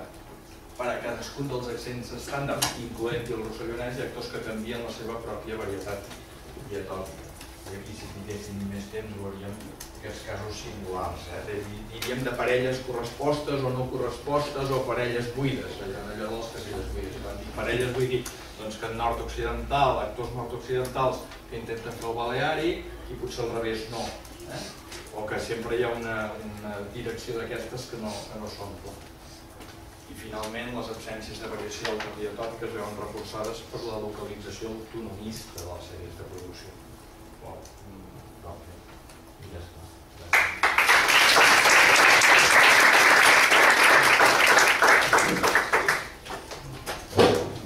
Bé, doncs ara parlarà l'última Rosa Roig, que si no ho he entès malament has, has fet una mica de la roda del món i tot el món, eh, perquè ets universitària, eh, fa 20 anys que es dedica a la producció audiovisual, treballa per la Corporació Catalana eh, per Televisió de Catalunya i també és, és professora en el màster en producció literària i audiovisual de la Universitat Pompeu Fabra i també eh, cursos de la Universitat Internacional de Catalunya. I la, ara ha tornat al Born perquè està fent eh, la tesi doctoral aquí a la Universitat Pompeu Fabra, estàs començant. Eh? Eh, si ho entenc bé, eh, sobre un, el, el procés eh, d'elaboració dels doblatges, com interpreten els diferents agents, eh? per tant una visió eh, no estrictament, estrictament acadèmica, sinó una visió molt de eh, com, com, acaba, com, com es treballa. No? D'acord? Doncs és la paraula. Bueno, mira, eh, he fusilat de manera una mica estranya el, el pòster de la ponència. De col·loquial fingit a col·loquial fingit. M'ha agradat, m'ha fet molta gràcia el que has dit de la secretaria, que Sí. pensaven que era un error. Clar, partim en doblatge, en traducció audiovisual, en subtitulació, partim d'un col·loquial fingit, d'un col·loquial que algú ha bastit, creat. Moltes vegades, durant mesos i mesos i mesos de treball, per elaborar un guió i que nosaltres traduïm i no problema, pot ser per això quatre dies o, o deu. Com va això? Així, no? No. Um, tinc dos exemples, no sé si tindré temps per presentar tots. Començaré amb l'exemple que tinc més elaborat, que és el doblatge al català d'una sèrie francesa, la Chouette eh, Compagnie, l'Òliga i companyia, que es va doblar el, es va doblar l'any passat. Es va emetre al canal Super 3.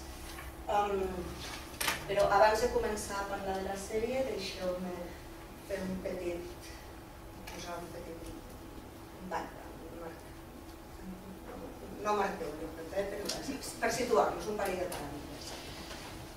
El text audiovisual i els agents del doblatge. El text audiovisual. Nosaltres, els traductors audiovisuals, treballem a partir del text audiovisual. El text audiovisual, senyors, no és el guió que tenim, que ens donen per traduir. El text audiovisual és la imatge i el so. Eh, molts de vosaltres segurament heu llegit l'article de d'Elba Bastita, que és l'article bàsic, estudis de traducció, eh, eh, com Translation Mass Media. Translation Mass Media. Audiovisual Translation Mass Media. Vale, es traduirà en espanyol. Eh, treballem amb això. Eh, i, és, I és bàsic perquè siguem conscients que una cosa que surt en un paper pot ser, eh, potser no és necessàriament el que hem d'acabar posant en un guió de doblatge, que ara veurem guions de doblatge, perquè nosaltres no podem limitar-nos a un paper traduït. Hem de mirar una imatge, mirar un, escoltar un so i prendre les nostres decisions. Segon factor, en un doblatge participen molta gent, moltíssima gent. Nosaltres, traductors, adaptadors, el meu cas jo soc traductora i adaptadora, però participen també supervisors lingüístics, participa l'equip de traducció, participen tècnics, tècnics de mescles, tècnics de gravació, participen evidentment els actors i tots d'alguna manera o d'una altra incideixen en contribueixen a la transformació d'un text audiovisual origen perquè es converteixi en un text audiovisual. Els traductors o traductors adaptadors potser som la base, però després aquesta base pot ser una base molt sòlida a partir de la qual es treballa molt bé, pot ser una base no tan sòlida que pateix moltes modificacions o pot ser una base que no està malament però que també es va modificant fins que s'arriba al producte final. I això és el que us vull mostrar en aquest procés. Hem parlat, us la, la Chouette, la Chouette és una sèrie francesa del 2014, és una sèrie per un públic familiar, Uh, per mi això vol dir que és una sèrie que els pares la podem veure amb les criatures i no ens venen ganes de tirar-nos pel balcó, perquè la veritat és que té diferents lectures, està molt bé, tenia un humor absurd, eh, una mica correcamins, una mica pantera rosa, slapstick, ho he mirat al mercat i slapstick és comèdia de clatellades, en traducció al català, segons la, la terminologia que ens dona el tancat. I mm, bé, va ser un projecte, la veritat és que aquest va ser un projecte que va sortir molt, molt bé i on van treballar tots molt bé. Us presento aquí, en aquesta diapositiva, qui participa en el procés doblatge. En aquest cas concret, el client és Televisió de Catalunya, TV3, que contacta amb un estudi de producció i li fa un encàrrec. A l'estudi, en blau, hi ha la, la, els que treballen com a salariats en aquest estudi Eh, en aquest cas, el director de doblatge, que coincideix amb el de l'estudi, eh, l'equip de producció, els tècnics, els tècnics poden ser de gravació, tècnics de gravació, tècnics de, mes, de mescles, hi ha altres tècnics que es dediquen a fer revisió del producte final i també una mena de, supervisor, supervisió lingüística per si se'ns ha escapat alguna cosa. Els actors, que no, són, no treballen a l'estudi, directament, però eh, van a treballar a l'estudi. I fora de l'estudi estem eh, els traductors i adaptadors de diàleg i una figura molt important en el doblatge en català que és la del supervisor lingüístic. El supervisor lingüístic té l'última paraula en allò, en, aquestes, en aquests diàlegs que es gravaran si tu, tens, si tu prens una decisió de traducció i al supervisor lingüístic no li agrada, tu la podràs negociar, potser arribareu a un acord, però si finalment el supervisor lingüístic decideix que la teva decisió no li agrada, té potestat per canviar-lo. I bueno, això, això, dit així, pot sonar a conflicte, i sí, hi pot, hi pot haver, però moltes vegades és simplement negociació i anar millorant un text que, bueno, que no se't pot acudir una cosa que sempre és millorable.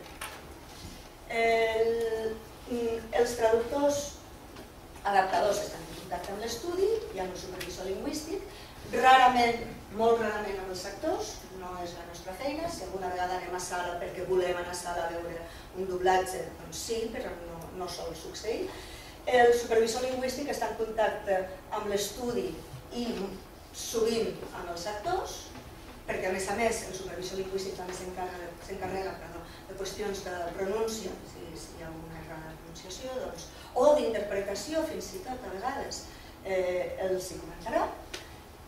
I eh, el supervisor lingüístic a vegades, en aquest cas concret, no estem parlant de Televisió de Catalunya, en altres casos no succeeix així, pot entrar en contacte amb Televisió de Catalunya quan hi ha coses eh, que s'hagin de discutir, com per exemple uns determinats registres, fins quin punt podem arribar amb el col·loquial, eh, podem fer servir aquestes expressions o això seria, es consideraria que és massa mm, transgressor, per exemple. Seria un cas en què el lingüista podria posar-se en contacte amb la televisió. Nosaltres, també, de tant en tant, però també, rarament. Um, abans de passar als exemples concrets, i ara ja des d'un punt de vista més textual, les transformacions que experimenta un text audiovisual d'origen transformar-se en un text audiovisual meta serien la traducció i l'adaptació, la meva feina, com he dit abans, és, sí, és la base, és el que té més volum, podríem dir. Després, aquest guió traduït i adaptat per un traductor adaptador o per un traductor després adaptat per un adaptador, se segmenta. Aquesta segmentació és simplement dividir el guió en fragments, en unitats de doblatge. Són les unitats de doblatge, també són unitats de retribució, però això passa cada vegada menys. Però els doblatges s'han d'organitzar d'alguna manera i aquesta organització implica que es divideixi el guió de doblatge en segments, que en, en el llenguatge tècnic de la professió es diuen TECs. Aquest guió passa una supervisió lingüística, supervisió, supervisor lingüístic que us he comentat, la primera, i després passa a sala. A sala es dobla. En el cas concret d'aquesta sèrie, el director de doblatge va donar instruccions a l'equip de doblatge, als tècnics i als actors en una primera instància, però després a sala eren tècnics i els actors els que anaven fent el doblatge sense, mm, sense hagués necessitat en aquest cas de les instruccions del director de doblatge perquè diguem que el producte ja estava en marxa, ja es coneixien els personatges i tot anava molt rodat, no, no calia. I per últim, els, els tècnics fan les mescles. Eh, per exemple, a sala tot es grava amb el mateix volum. Si un personatge està lluny i un altre personatge està a prop, a sala es grava tot amb el mateix volum, però quan nosaltres ho veiem en pantalla, escoltarem, eh, sentirem que un dels personatges parla amb una veu més com, com llunyana. Això és un efecte que introduirà, introduirà un tècnic de Abaixarà el volum i posarà algun efecte perquè sembli que aquest personatge, que quan es gravava, es gravava tot amb un volum pla, està més És més bueno. eh, us faig un petit calendari perquè tingueu una idea de quan es triga a doblar una sèrie d'aquestes característiques. Aquest, aquesta sèrie no la vam rodar ni... ni no, no. Els terminis van ser raonables. Anàvem fent feina a bon ritme, però no hi havia una pressa excessiva. 50, 156 episodis de 7 minuts són 18 hores, una mica més de 18 hores de producte doblat vam començar, diguem que la comanda la va rebre l'estudi la primera setmana de febrer i a començaments de juliol es van enviar els últims episodis doblats. O sigui, van ser eh, març, abril, maig, juny, uns quatre mesos. Va ser un projecte que vam iniciar i concloure en quatre mesos. Um, bé, aquí crec que això és perquè us feu una idea dels terminis. Ara, per exemple, hem estat treballant en altres projectes, eh, els materials van arribar tardíssim i, i hem anat realment molt, molt, molt ofegats. Hem hagut de treballar amb dues sèries molt diferents, completament diferents al mateix temps, i ha sigut, ha sigut dur, però bueno, així és com ha arribat la feina. I ara aquí us presento el calendari del doblatge de cinc episodis en concret perquè hi ha altre concepte que veurem després que us vull introduir. O sigui, Imagineu-vos un traductor, rep les imatges a finals de març i, la primera, i a final de la primera setmana d'abril ja estan aquests guions, aquests cinc, aquests cinc guions, penseu que eren de 7 minuts, 35 minuts de producte, traduïts, adaptats, pautats o segmentats, no sé si ho he dit, la paraula tècnica de la segmentació dels guions és pautats pautats i revisats pel, pel revisor lingüístic. La setmana del 24 al 30 passen a la sala de doblatges. Aquí, el retakes, això us volia dir. Un cop es grava un producte, després es torna, el revisor lingüístic el torna a visionar i potser detecta algun error. Errors d'interpretació, errors gramaticals que se li han escapat, eh, errors de pronunciació, llavors aquests errors s'han de tornar a doblar. I això, I això en diem retakes. Encara passa per una revisió, per un altre nivell de revisió un producte doblat.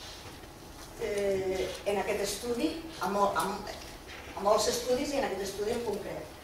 El, aquell tècnic que us he comentat al principi, que es dedicava a eh, revisar qüestions tècniques del producte acabat i també una mica qüestions lingüístiques. Un petit exemple, de web. Fa un temps es va traduir una pel·lícula, es va doblar una pel·lícula. En, en aquesta pel·lícula un personatge menjava un tros de fruita. Aquesta fruita es va traduir com meló.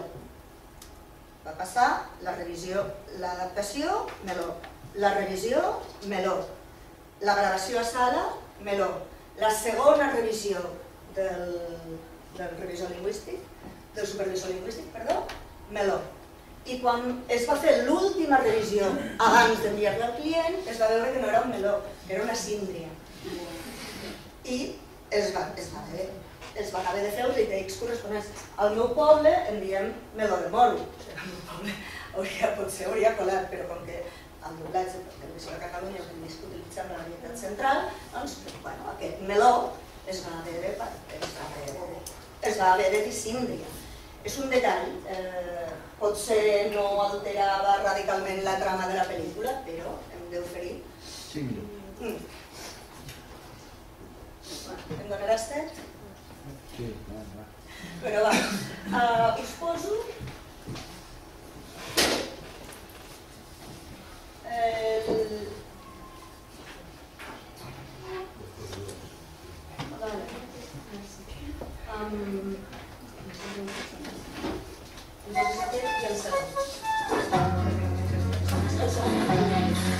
Aquesta és la sèrie, un de la sèrie La Chouette.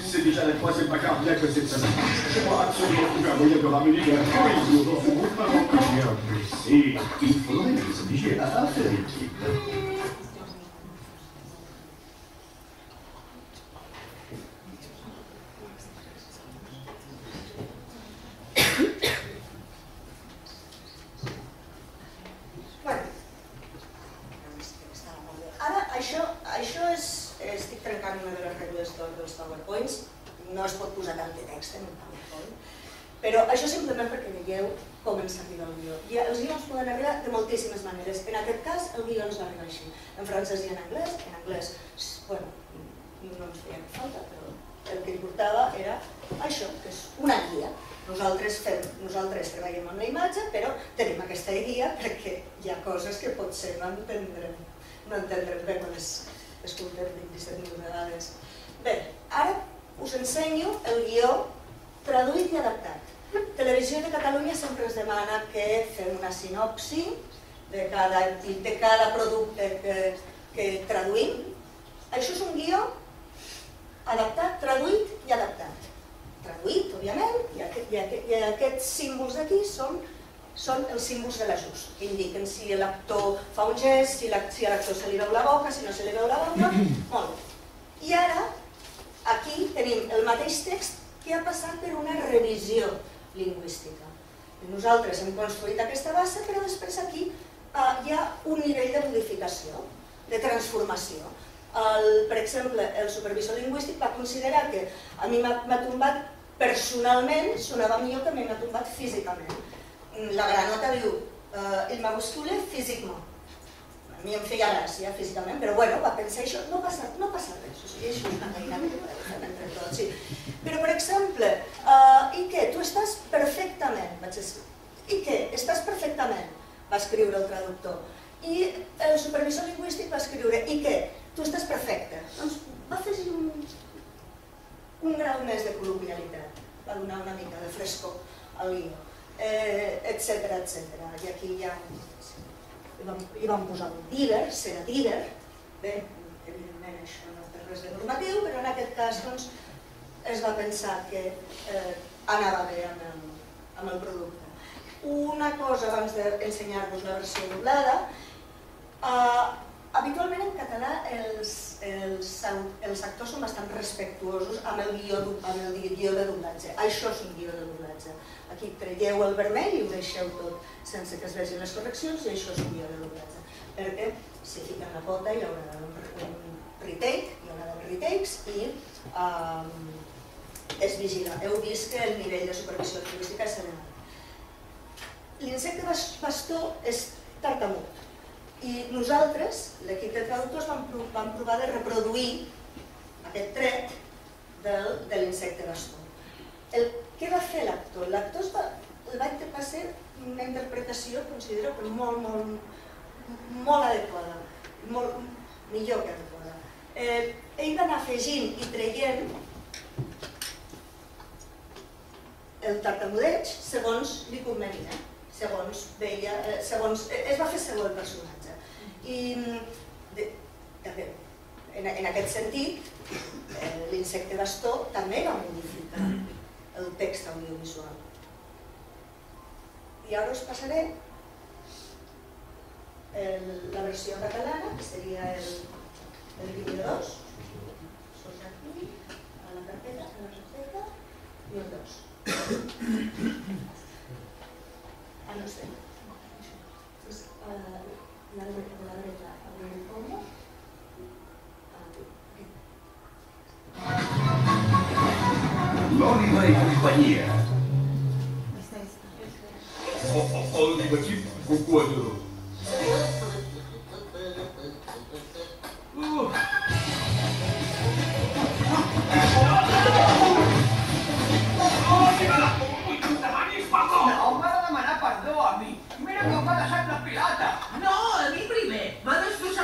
de quatre fulles. Això no és res, només són coses que a mi m'ha tombat personalment. Què? Tu estàs perfecte. Mira com m'ha deixat la pilota a mi. Però ara la pots fer servir de gorra. I jo què? Amb això no puc fer una gorra i ja no em donarà bona sort. Saps què faré amb el teu maleït trèvol? Ah! Oh, què m'ha de caure? Pareu, sisplau, tanqueu ciència, no la guerra. Lluita En, absolut, al contrari, sé sempre estan igual. Aquesta setmana és la tercera parània.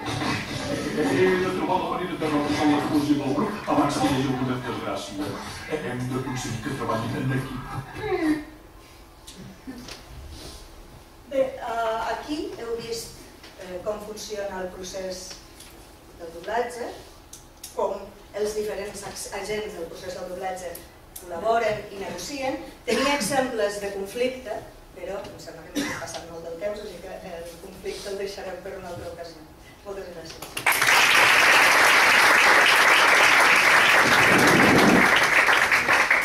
Bé, doncs ara passem a la segona part, si són tan amables els protagonistes de venir cap aquí.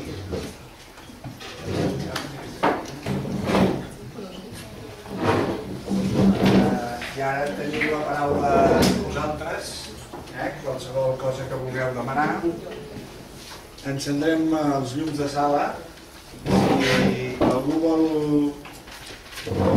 que algun dels ponents torni a alguna diapositiva, però vaja, em sembla que serà una mica complicat. Mirem de fer-lo. Eh? Doncs endavant, quan vulgueu. Jo faré de moderador. Aquestes vergonyes, aquests llibres. Clara, hi ha una Jo pregunta. volia saber si posa que havia el títol del llibre aquell de criteris de Criteris, no, criteris de traducció i doblatge. De, Eh? criteris de traducció. criteris Lingüístics.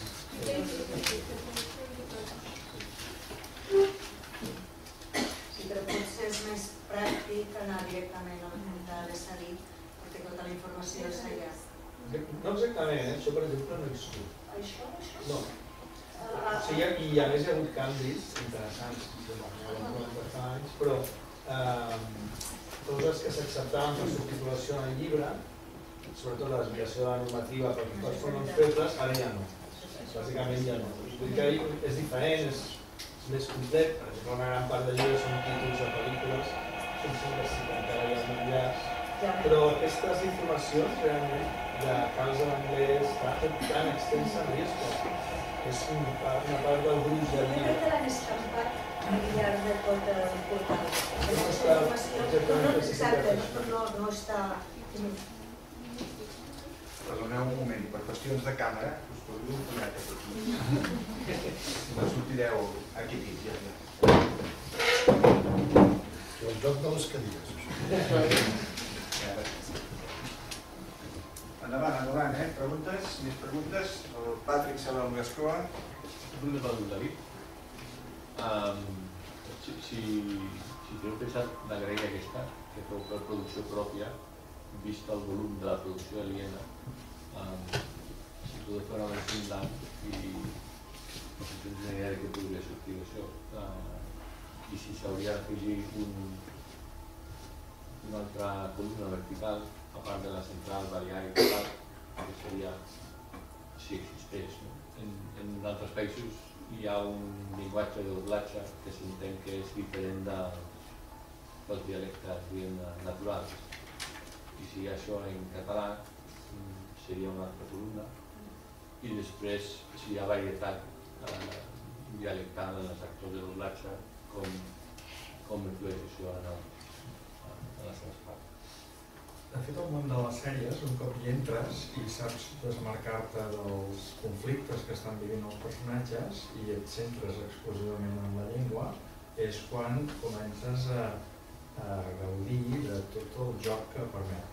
I aquesta graella simple ens va ajudar eh, a situar-nos.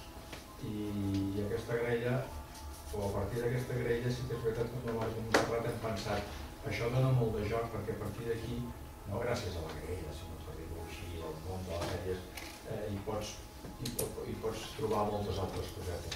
I arran de la teva intervenció diria que sí, eh, una altra graella similar, ampliada, actualitzada, en relació amb les sèries de producció aliena, i sí, a poder trobar una col·laboració amb Patrick de l'Albert,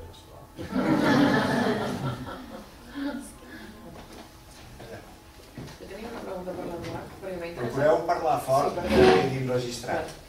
M'ha m'ha interessat molt um, això d'un banc de situacions, perquè és veritat que de vegades ens ajustem molt a, al que diuen en anglès i em va fer gràcia una vegada que deien que uh, col·loquialment fins i tot parlem com a les sèries per, perquè o sigui, ens entra així traduït i aleshores mm, ens ho quedem. Mm, Aquest, aquesta proposta s'ha començat a fer ja? No, no, és, és, a l'aire? és, o- una, és una idea molt embrionària. Val. Fa anys vam fer una cosa semblant, vam fer una cosa semblant sobre gestos, que vam dir gestionari, gestionari, perquè era sobre, pensant en l'audiodescripció sobretot, però crec que seria molt interessant, perquè això que, per exemple, el, el hello aquest que hem dit, doncs jo crec que avui dia sí que molta gent diu hola, com de sorpresa, és claríssimament que és una influència de l'anglès i milions d'altres. No passa res, vull dir, és una manera també de, de canviar de llengua, però jo crec que seria interessant per allunyar-nos, no? el que diem sempre els professors de traducció i sobretot amb, amb textos que pretenen sonar naturals o versemblants, allunyar-nos del text, del text purament lingüístic per fixar-nos més en la situació i el que es diria en cada situació. Si em permeteu, eh, una mica, um, seria una utilitat extrema el continuéssiu treballant en el vostre situació. Um, eh, succeeix però que el doblatge estan limitats per les boques i, i hem de trobar maneres de sortir-nos. Però, per exemple, em ve al cap el oh no.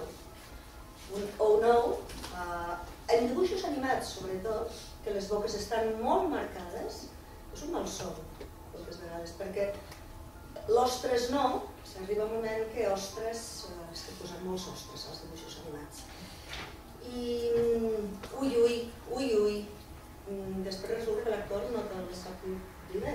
Sí, um, quan feu això que tu estàs fent és, és, és de, de gran utilitat, però nosaltres tenim que pensar, sigui, nosaltres, no, nosaltres, nosaltres hem de pensar en les boques a l'hora de traduir. Per tant, el vesten a la merda fantàstic, pot ser un fuck you, i no, no hi podem posar No- necessàriament Potser, potser, potser, potser podem posar a la merda, potser. Vull dir que tenir diferents opcions precisament és bo, és a dir, no centrar només en les paraules, que pot ser que no coincideixin a la traducció fonèticament, per tant, ni isocrònicament, ni el que seria les qüestions labials i les vocals, però potser pots tenir més recursos encara de dir, doncs mira, podria haver fet servir aquest que no, que no l'havia pensat perquè lingüísticament no és la traducció literal del que diu. Per tant, Jo sobre això, no sé, puc preguntar jo també, oi? Uh, Are you kidding? Dius, eh, què? No? Què dius, no? Què? Clar, jo escric què i, i com ho dirà l'actor? Com sap com ho ha de dir? és el problema de... Clar, dir què és una cosa i dir què... No, jo deia, què dius? Però és igual. Vull dir, clar, és que el doblatge, com ha explicat molt bé la Rosa, és un, una activitat on hi participen molts agents. Jo crec que personalment, perdoneu-me, per això no m'agrada el doblatge. Perquè precisament, i sobretot per l'última fase en què els actors no sonen persones, independentment del contingut lingüístic. Tu engegues, poses un ordinador i poses una sèrie doblada i al segon, sense mirar, saps que allò està doblat. I és per la, per la entonació, no parlo ja ni del contingut lingüístic, que també pot ser, mm, pot grinyolar força, eh? però a vegades, però pot ser que sigui perfecta, però per pensar en les veus i l'entonació és desastrosa, en tots els idiomes en què es dobla. Si és infantil no, perquè no tens la, la, la referència d'un actor reconegut que parla i són situacions diferents. I precisament crec que el moviment de la boca t'afecta menys en dibuixos animats que en personatges de carn i ossos que si tens un primeríssim primer pla o un primer pla... No, és curiós, és curiós perquè les dibuix, eh, els dibuixos animats, amb, amb els dibuixos animats digitals, estan, és, són hiperrealistes. És molt més difícil eh, treballar amb boques de dibuixos animats, i que li diguin al Lluís Comas que tradueix les pel·lícules de Disney, que treballar amb boques d'una pel·lícula per adults. Molt més difícil. Eh, bueno, sí, és veritat que hi ha un doblatge, hi ha un d'avís i un llenguatge molt impostat i que moltes vegades els actors no coneixen el personatge. Eh, que sabeu, no sé si ho, no ho he comentat, però sabeu que els actors no miren la pel·lícula abans de doblar-la o no miren la sèrie abans de doblar-la. Ells van a sala i doblen les seves línies. I les seves línies poden ser al minut 1, al minut 5, al minut 7 i al minut 15. I se'n van cap a casa. Clar, quan un actor interioritza un personatge com era aquest insecte bastó, que jo realment crec que aquí el, el, la, la versemblança que comentaves, aquest, aquest modista l'aconsegueix. Uh, doncs llavors sí que surt un bon producte. Si no, si és una cosa feta així, doncs sí, és veritat, per raó de que A més, mm, suposo que es fa així, no? que l'actor grava les seves intervencions i encara que sigui un diàleg, parla sol. Ah, sí, clar. Sí, Clar, sí, també. per tant, el resultat seria un miracle que allò fos versemblant. Jo, preguntaria al Magí si amb la gramàtica essencial o la bàsica, o amb algunes d'aquestes que han sortit per Ferrocarril, si sortirem del purgatori. No, no, que va, restringits. O sigui, la gramàtica, la, la grossa, per entendre'ns, és la més generosa. És la... Ara aquí eh, el que fan aquestes dues gramàtiques és acotar, eh, acotar més perquè, clar, què hem d'ensenyar a l'escola? Què hem d'ensenyar? Podeu dir en arribar i podeu dir a l'arribar. Podeu dir porto 3 anys o pots dir fa 3 anys que... I llavors ho acoten encara més. Si el seu és aquí, allà ja no hi cap. Allà tot és. Jo volia, mira, ja que allò m'ha dit això, vull posar dos exemples. Tu has parlat de la semblança que, que l'Aina Clotet parli nord-occidental, no? has anat ubicant. Però hi ha un altre fenomen que encara és més bo, i jo tinc anotats dos d'allò que ara m'he entretingut a buscar els actors perquè no me'n recordava, que van fer un programa del Llull, que el feia el Jordi Bosch, de gran, i de jove era Roger Casamajor. Roger Casamajor deia jo, i el, i el Bosch deia jo. I a la pel·lícula Julieta, de l'Almodóvar, eh, la Emma Suárez, que és la Julieta Gran, quan es refereix al seu home mort diu Swan, Swan, un amor de Swan. I aquell home es diu Xoan.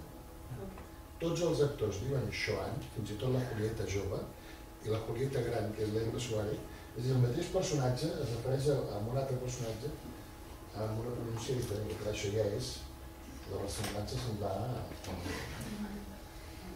Amb el ja jo, no és ni doblatge, eh? això ja és original. amb el jo i el jo, eh, crec que les ha dit, o les recomanacions lingüistes, eh, lingüístiques, els lingüistes de traducció de Catalunya treballen, treballen amb el jo, jo, no, no el jo. jo. A- Ara podria preguntar als alumnes de l'assignatura que, es- que ens expliquessin què passa amb el jo i amb el jo.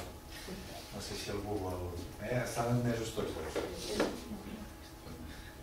Sí, però clar, si unifiques, com diu ella, és a dir, garanteixes que no hi hagi aquestes, aquestes incoherències no, en el mateix personatge. Que això és el que fem els llibres d'estil moltes vegades, no? Ui, de llibres d'estil també en saben. Me la van donar dilluns. Que acaben de fer la guia d'estil. És, és la professora d'edició i revisió de textos. Jo sóc el bo perquè fem el col·loquial i ella és la dolenta perquè fa... Perdona. Tinc aquest públic que no parla. Tot allò que volíeu saber sobre el col·loquial fingit i no us havíeu atrevit mai a preguntar,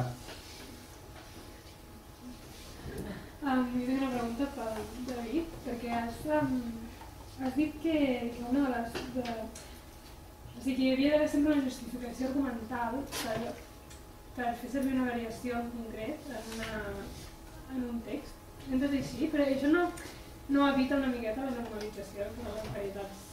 No és que hi hagi d'haver una justificació, no hi és enlloc en un guió cap justificació de cap mena. Els guionistes l'han escrit i han pensat els personatges d'una determinada manera.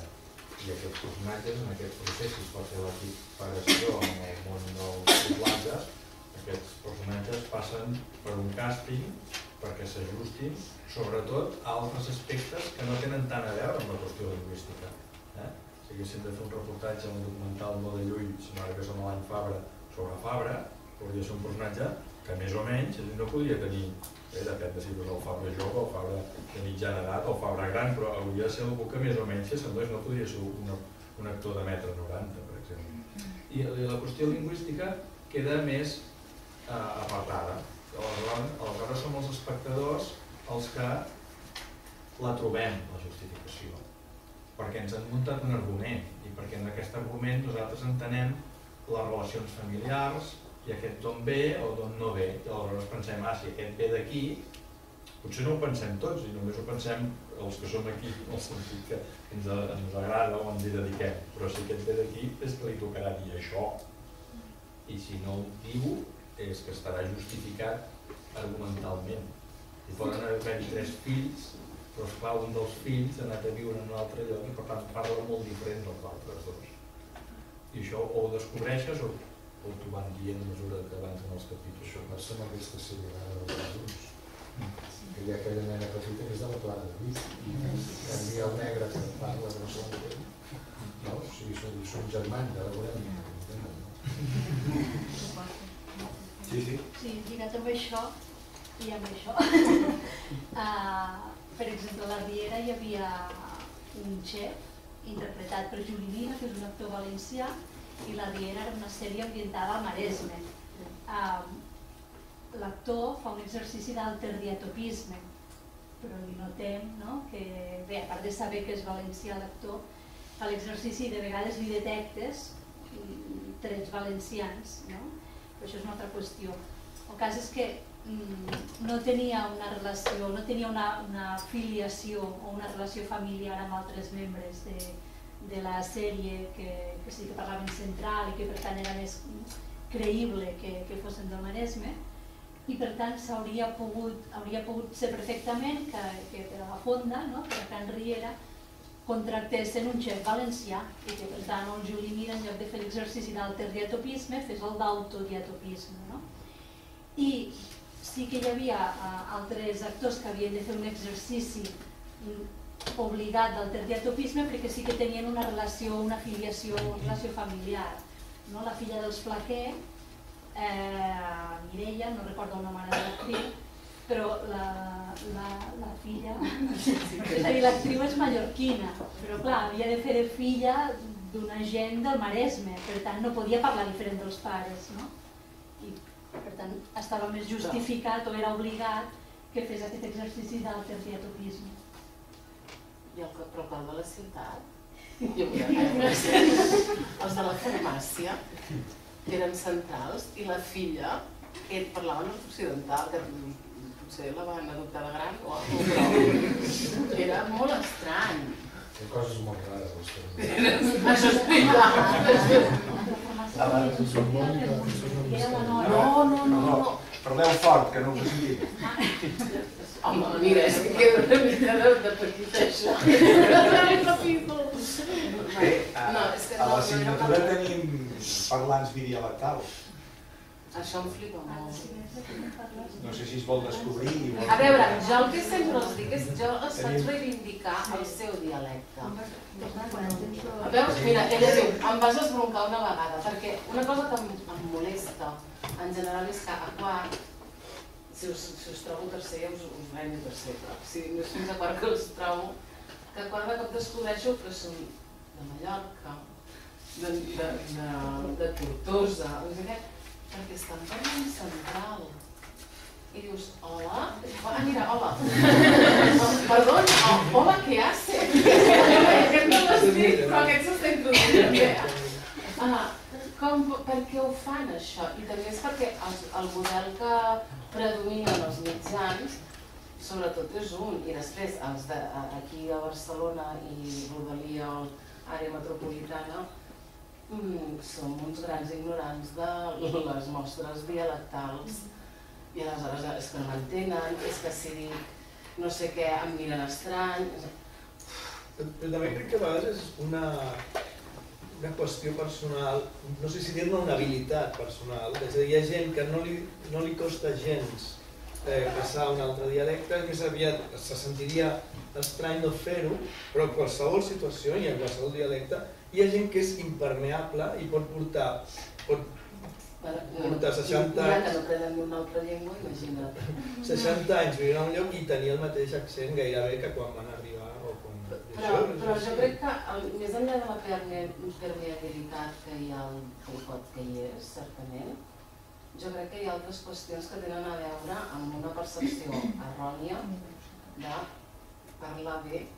Però tu no t'ha passat d'anar a València Ah, i al cap sí, d'una jo vaig estiu a Gran parlar Via, vaig com tornar dia que agafava el metro.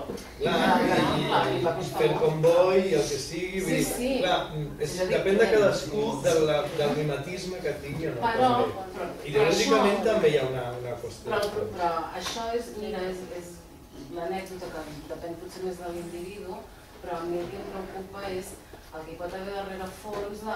Bueno, allò quan els dius, tu parles estàndard? No, no, jo no parlo estàndard. Ah, no? I tu què parles? Et diuen, no, l'estàndard és el central. És una mica generalitzada. de tendència és aquesta amb la Va, gramàtica, doncs per exemple. l'institut no diu pas això. Sí, però el que fa després és una altra cosa. I el que veiem a televisió és una altra cosa. Bueno, el pare i el que ha explicat, sí, molt maco, però després la gramàtica de l'institut està, escrit, està escrita diferenciant per i per davant l'infinitiu.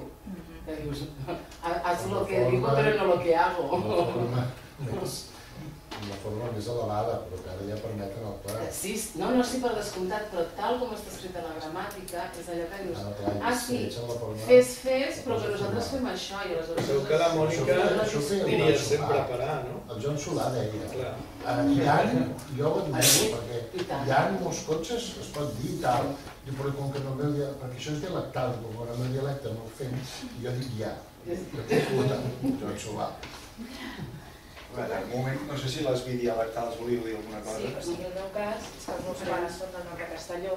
Clar, jo des de, que, bueno, des de que vaig néixer a casa vaig escoltar aquest dialecte, però quan jo he nascut aquí, bueno, a Mollet del Vallès, i he estat sempre escolaritzada aquí. Llavors, clar, jo a partir dels 3 anys també, doncs, diguem que he après el català central i jo doncs, vaig canviant. Però en aquest cas és, és nadiu, diguem-ne, Sí. és com ser bilingüe, però és dialect, Sí. dialectal. Sí, sí. Però el tema és... Però que és diferent. Ella, és de- ella, ella no parlava central fins que no va Deixa-la treure parlar, el que s'expliqui. Però és el que diu ell, o sigui, jo és com una, no una habilitat, però és que em passa amb altres dialectes. Si jo me'n vaig a Lleida, acabaré adoptant aquesta forma. No canviaràs gaire, tampoc. No, i sí, canviar. Però que jo no faig cap esforç en, en fer el canvi, és més, l'esforç el faig si ara aquí, en aquesta sala, intentes mantindre el meu dialecte. És una cosa molt estranya, però és el que passa. Bé. Per tant, és com natural, no hi ha un, no hi ha un objectiu. No. Perquè hi ha gent que, per exemple, és, és hàbil també en els dialectes, o tres, els que sigui, depèn a qui s'adreça. Uh, no? Una, no? Coneixem, és a dir, coneixem aquesta persona, i ara estic pensant. No? Se, bueno, se, se t'adreça a tu i se t'adreçaria en central. Es giraria, se m'adreçaria a mi i, i, i se m'adreçaria en tots Tu els ella li parlaries en profusió? Sentim-la parlar? Sí. Però clar, aquesta persona que penso ho fa a propòsit, no, no, no li surt espontàniament natural. Sí? A dir, fa amb, amb algun propòsit. Eh? Jo també ets dialectal. Com ho has dit això? Sento- Bidialectal. Però només, us, eh, només passa amb els que no són centrals. Els que no centrals no. No, perquè no sabeu que existeix. Manté bastant, que tu mantens bastant. Jo Amb la Rosa també. sí. Jo soc del nord de Castellà. Sí, jo crec que es nota. Doncs, sí, sí, jo no és un un- intent de... Faig una queixa per transició, Fonèticament, per exemple, jo no faig reduccions, no faig res diferent. L'únic que potser arribaré a fer és alguna, termina, alguna desinència, no? algun subjuntiu, que... però ja està. No, fonètic, per exemple, eh, abans ens preguntàvem amb l'Elisenda D'on eres? serà Sí, sí, sí. perquè ja ens semblava que la vacilava molt, eh? però per exemple ens sorprenia que fas la reducció de la O a la U, no? Exacte. I en canvi no fas vocals neutres, perquè això és un exercici més complex, no? Que és nord-occidental. No, és que no saben- és que saben fer vocal. vocals neutres. Ara ja de, fora de la- de l'àmbit lingüístic català, Patrick. No, no us volia dir, potser per tranquil·litzar l'àmbit català, que es, es, es podria fer el, el model d'estudi que fas tu, uh, com es compara amb altres llocs. O sigui, és mm, sense haver fet l'estudi, simplement per d'allò, uh, Hollywood, com és la meca, vol dir que hi va tothom allà, no? Això és la definició de meca, no? Que hi va la gent. Uh, I com van actors encara parlen anglès per tot el món, um, el fenomen que tu descrius, jo crec que Hollywood fins i tot es multiplica. I a vegades fins i tot es fa per exigències del, del guió. És a dir, tu tens pel·lícules de Disney gent d'una mateixa família parlen dialectes diferents i no per qüestió d'actor, sinó per qüestió de càsting. És a dir, que hi ha un gran atac, sigui, per, per estereotips i per qüestions de caracterització del personatge. O sigui que si la, la hipòtesi de treball és, és un fenomen català i fenomen d'aquests, eh, jo diria que no. I llavors, eh, el que no és el meu és que la versemblança ve, com tu has dit, molt bé, no? per altres vies. És a dir, si el guió és bo i distreu i el, el que fa avançar el tema és que jo vull saber què és el que passa a continuació, si no em treuen d'aquest interès, aquesta cosa ha funcionat. I, al món de parla anglesa hi ha parrafades. No? Per exemple d'això extrem és Kevin Costner fent de Hood. Per exemple, perquè va passar, va dir jo soc Kevin Costner i, i, i I- i- ha actors que s'ho treballen. Robin Wright fent de la dona de Rob Wolf. I, i pel·lícules on, per exemple, és el perfum, que és, un llibre en alemany i es roda en anglès, o, o això, la Casa de los Espíritus en anglès. Vull dir, que jo crec que aquí, i això és important també, hi ha el tema de la ficció. I quan l'espectador ja entra en aquesta ficció, potser deixa de banda aquestes qüestions, que són importants, però com que al final és una ficció i el que volem és creure-hi o no, doncs pensar val una mica la ressemblança. Fins que grinyola. Fins que grinyola massa. Fins que grinyola i, per- i, i a veure que... I i et que fa sortir de la ficció, que és el que i, t'expulsa. i, i jo crec que des, de, ara realment els productes que es fan són cada vegada millors i escriuen sprint tant en, en la creació com en la traducció. Hi ha un canvi ideològic també, com tu Els primers, o ben del clar, tothom parlava igual, parlava igual el nen de 5 anys que el iaio de 80, i que, home... Era el Patrick ha posat l'exemple de la indústria de Hollywood, quan a Hollywood volen accents, o necessiten algú que pugui accents, que tenen accents britànics. Eh, actors britànics. I segurament als instituts de teatre del Regne Unit s'ensenya ja el seu propi, però i, aquest, i tenen una habilitat extraordinària per fer accents i interpretar-los quan calgui. Els americans, en canvi, interpretant accents britànics, superen. I aquí jo mm, no ho conec personalment, però jo crec que l'Institut del Teatre no es treballa aquest aspecte. Treballa. I és més, eh, a les sèries, quan algú ha de fer un determinat, interpretar en una determinada varietat, seria més creïble. El producte pot ser bo, però li afegiria i afegiria un altre nivell de, credibilitat, de versemblança. Vaig, vaig aprendre de la mecànica que hi ha actors que ja en el seu currículum, com la Carol Rovira, no? Sí. ja expliquen en, què, en quines varietats dialectals són hàbils. Sí, sí, sí. Que està molt bé. És un plus, clar. Sí, sí, sí, sí. Aquí un Lori, posant l'exemple al revés, el sí. Lori feia el, el Dr. House com si fos americà. Sí. Ell i així, vull dir que Ah, sí. sí, sí. els actors britànics... Que és mira, el l'actor, aquell, el, aquell grup fa sèries americanes, i també és britànic. Però és interessant el cas de House, per exemple, perquè no hi ha cap raó, entenc jo, eh, com a espectador de les sèries, que no hagués pogut ser un metge anglès, que està ja a Tuitamíria, i un metge ben pagat a Estats Però Units, és quan que ell es va presentar personatges càsting parlant... no hi ha cap raó per la qual hagi de ser americà, no, no fa un personatge que no sé, un tan digne i tan... i tan fet. O un i ho fa molt bé. Sí, que va presentar el càsting parlant amb l'accent nord-americà, i per tant, no, ho- no Ja, sabia que... ah, ho va fer, ho va fer. Sí, això vam dir, no sé si és així o no.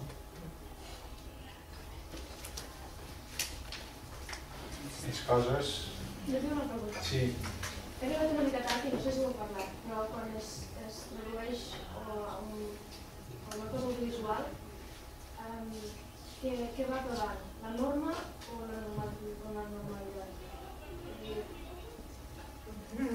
Bona pregunta. A veure, la versemblança.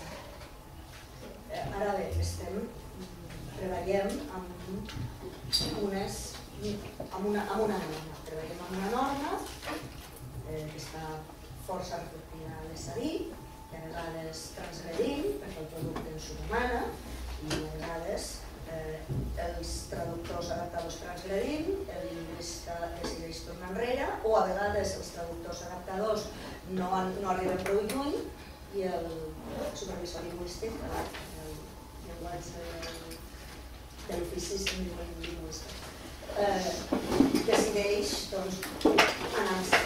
O sigui, sempre estem jugant en aquest que després passa com a mi, que tot català no és la sèrie, però la porta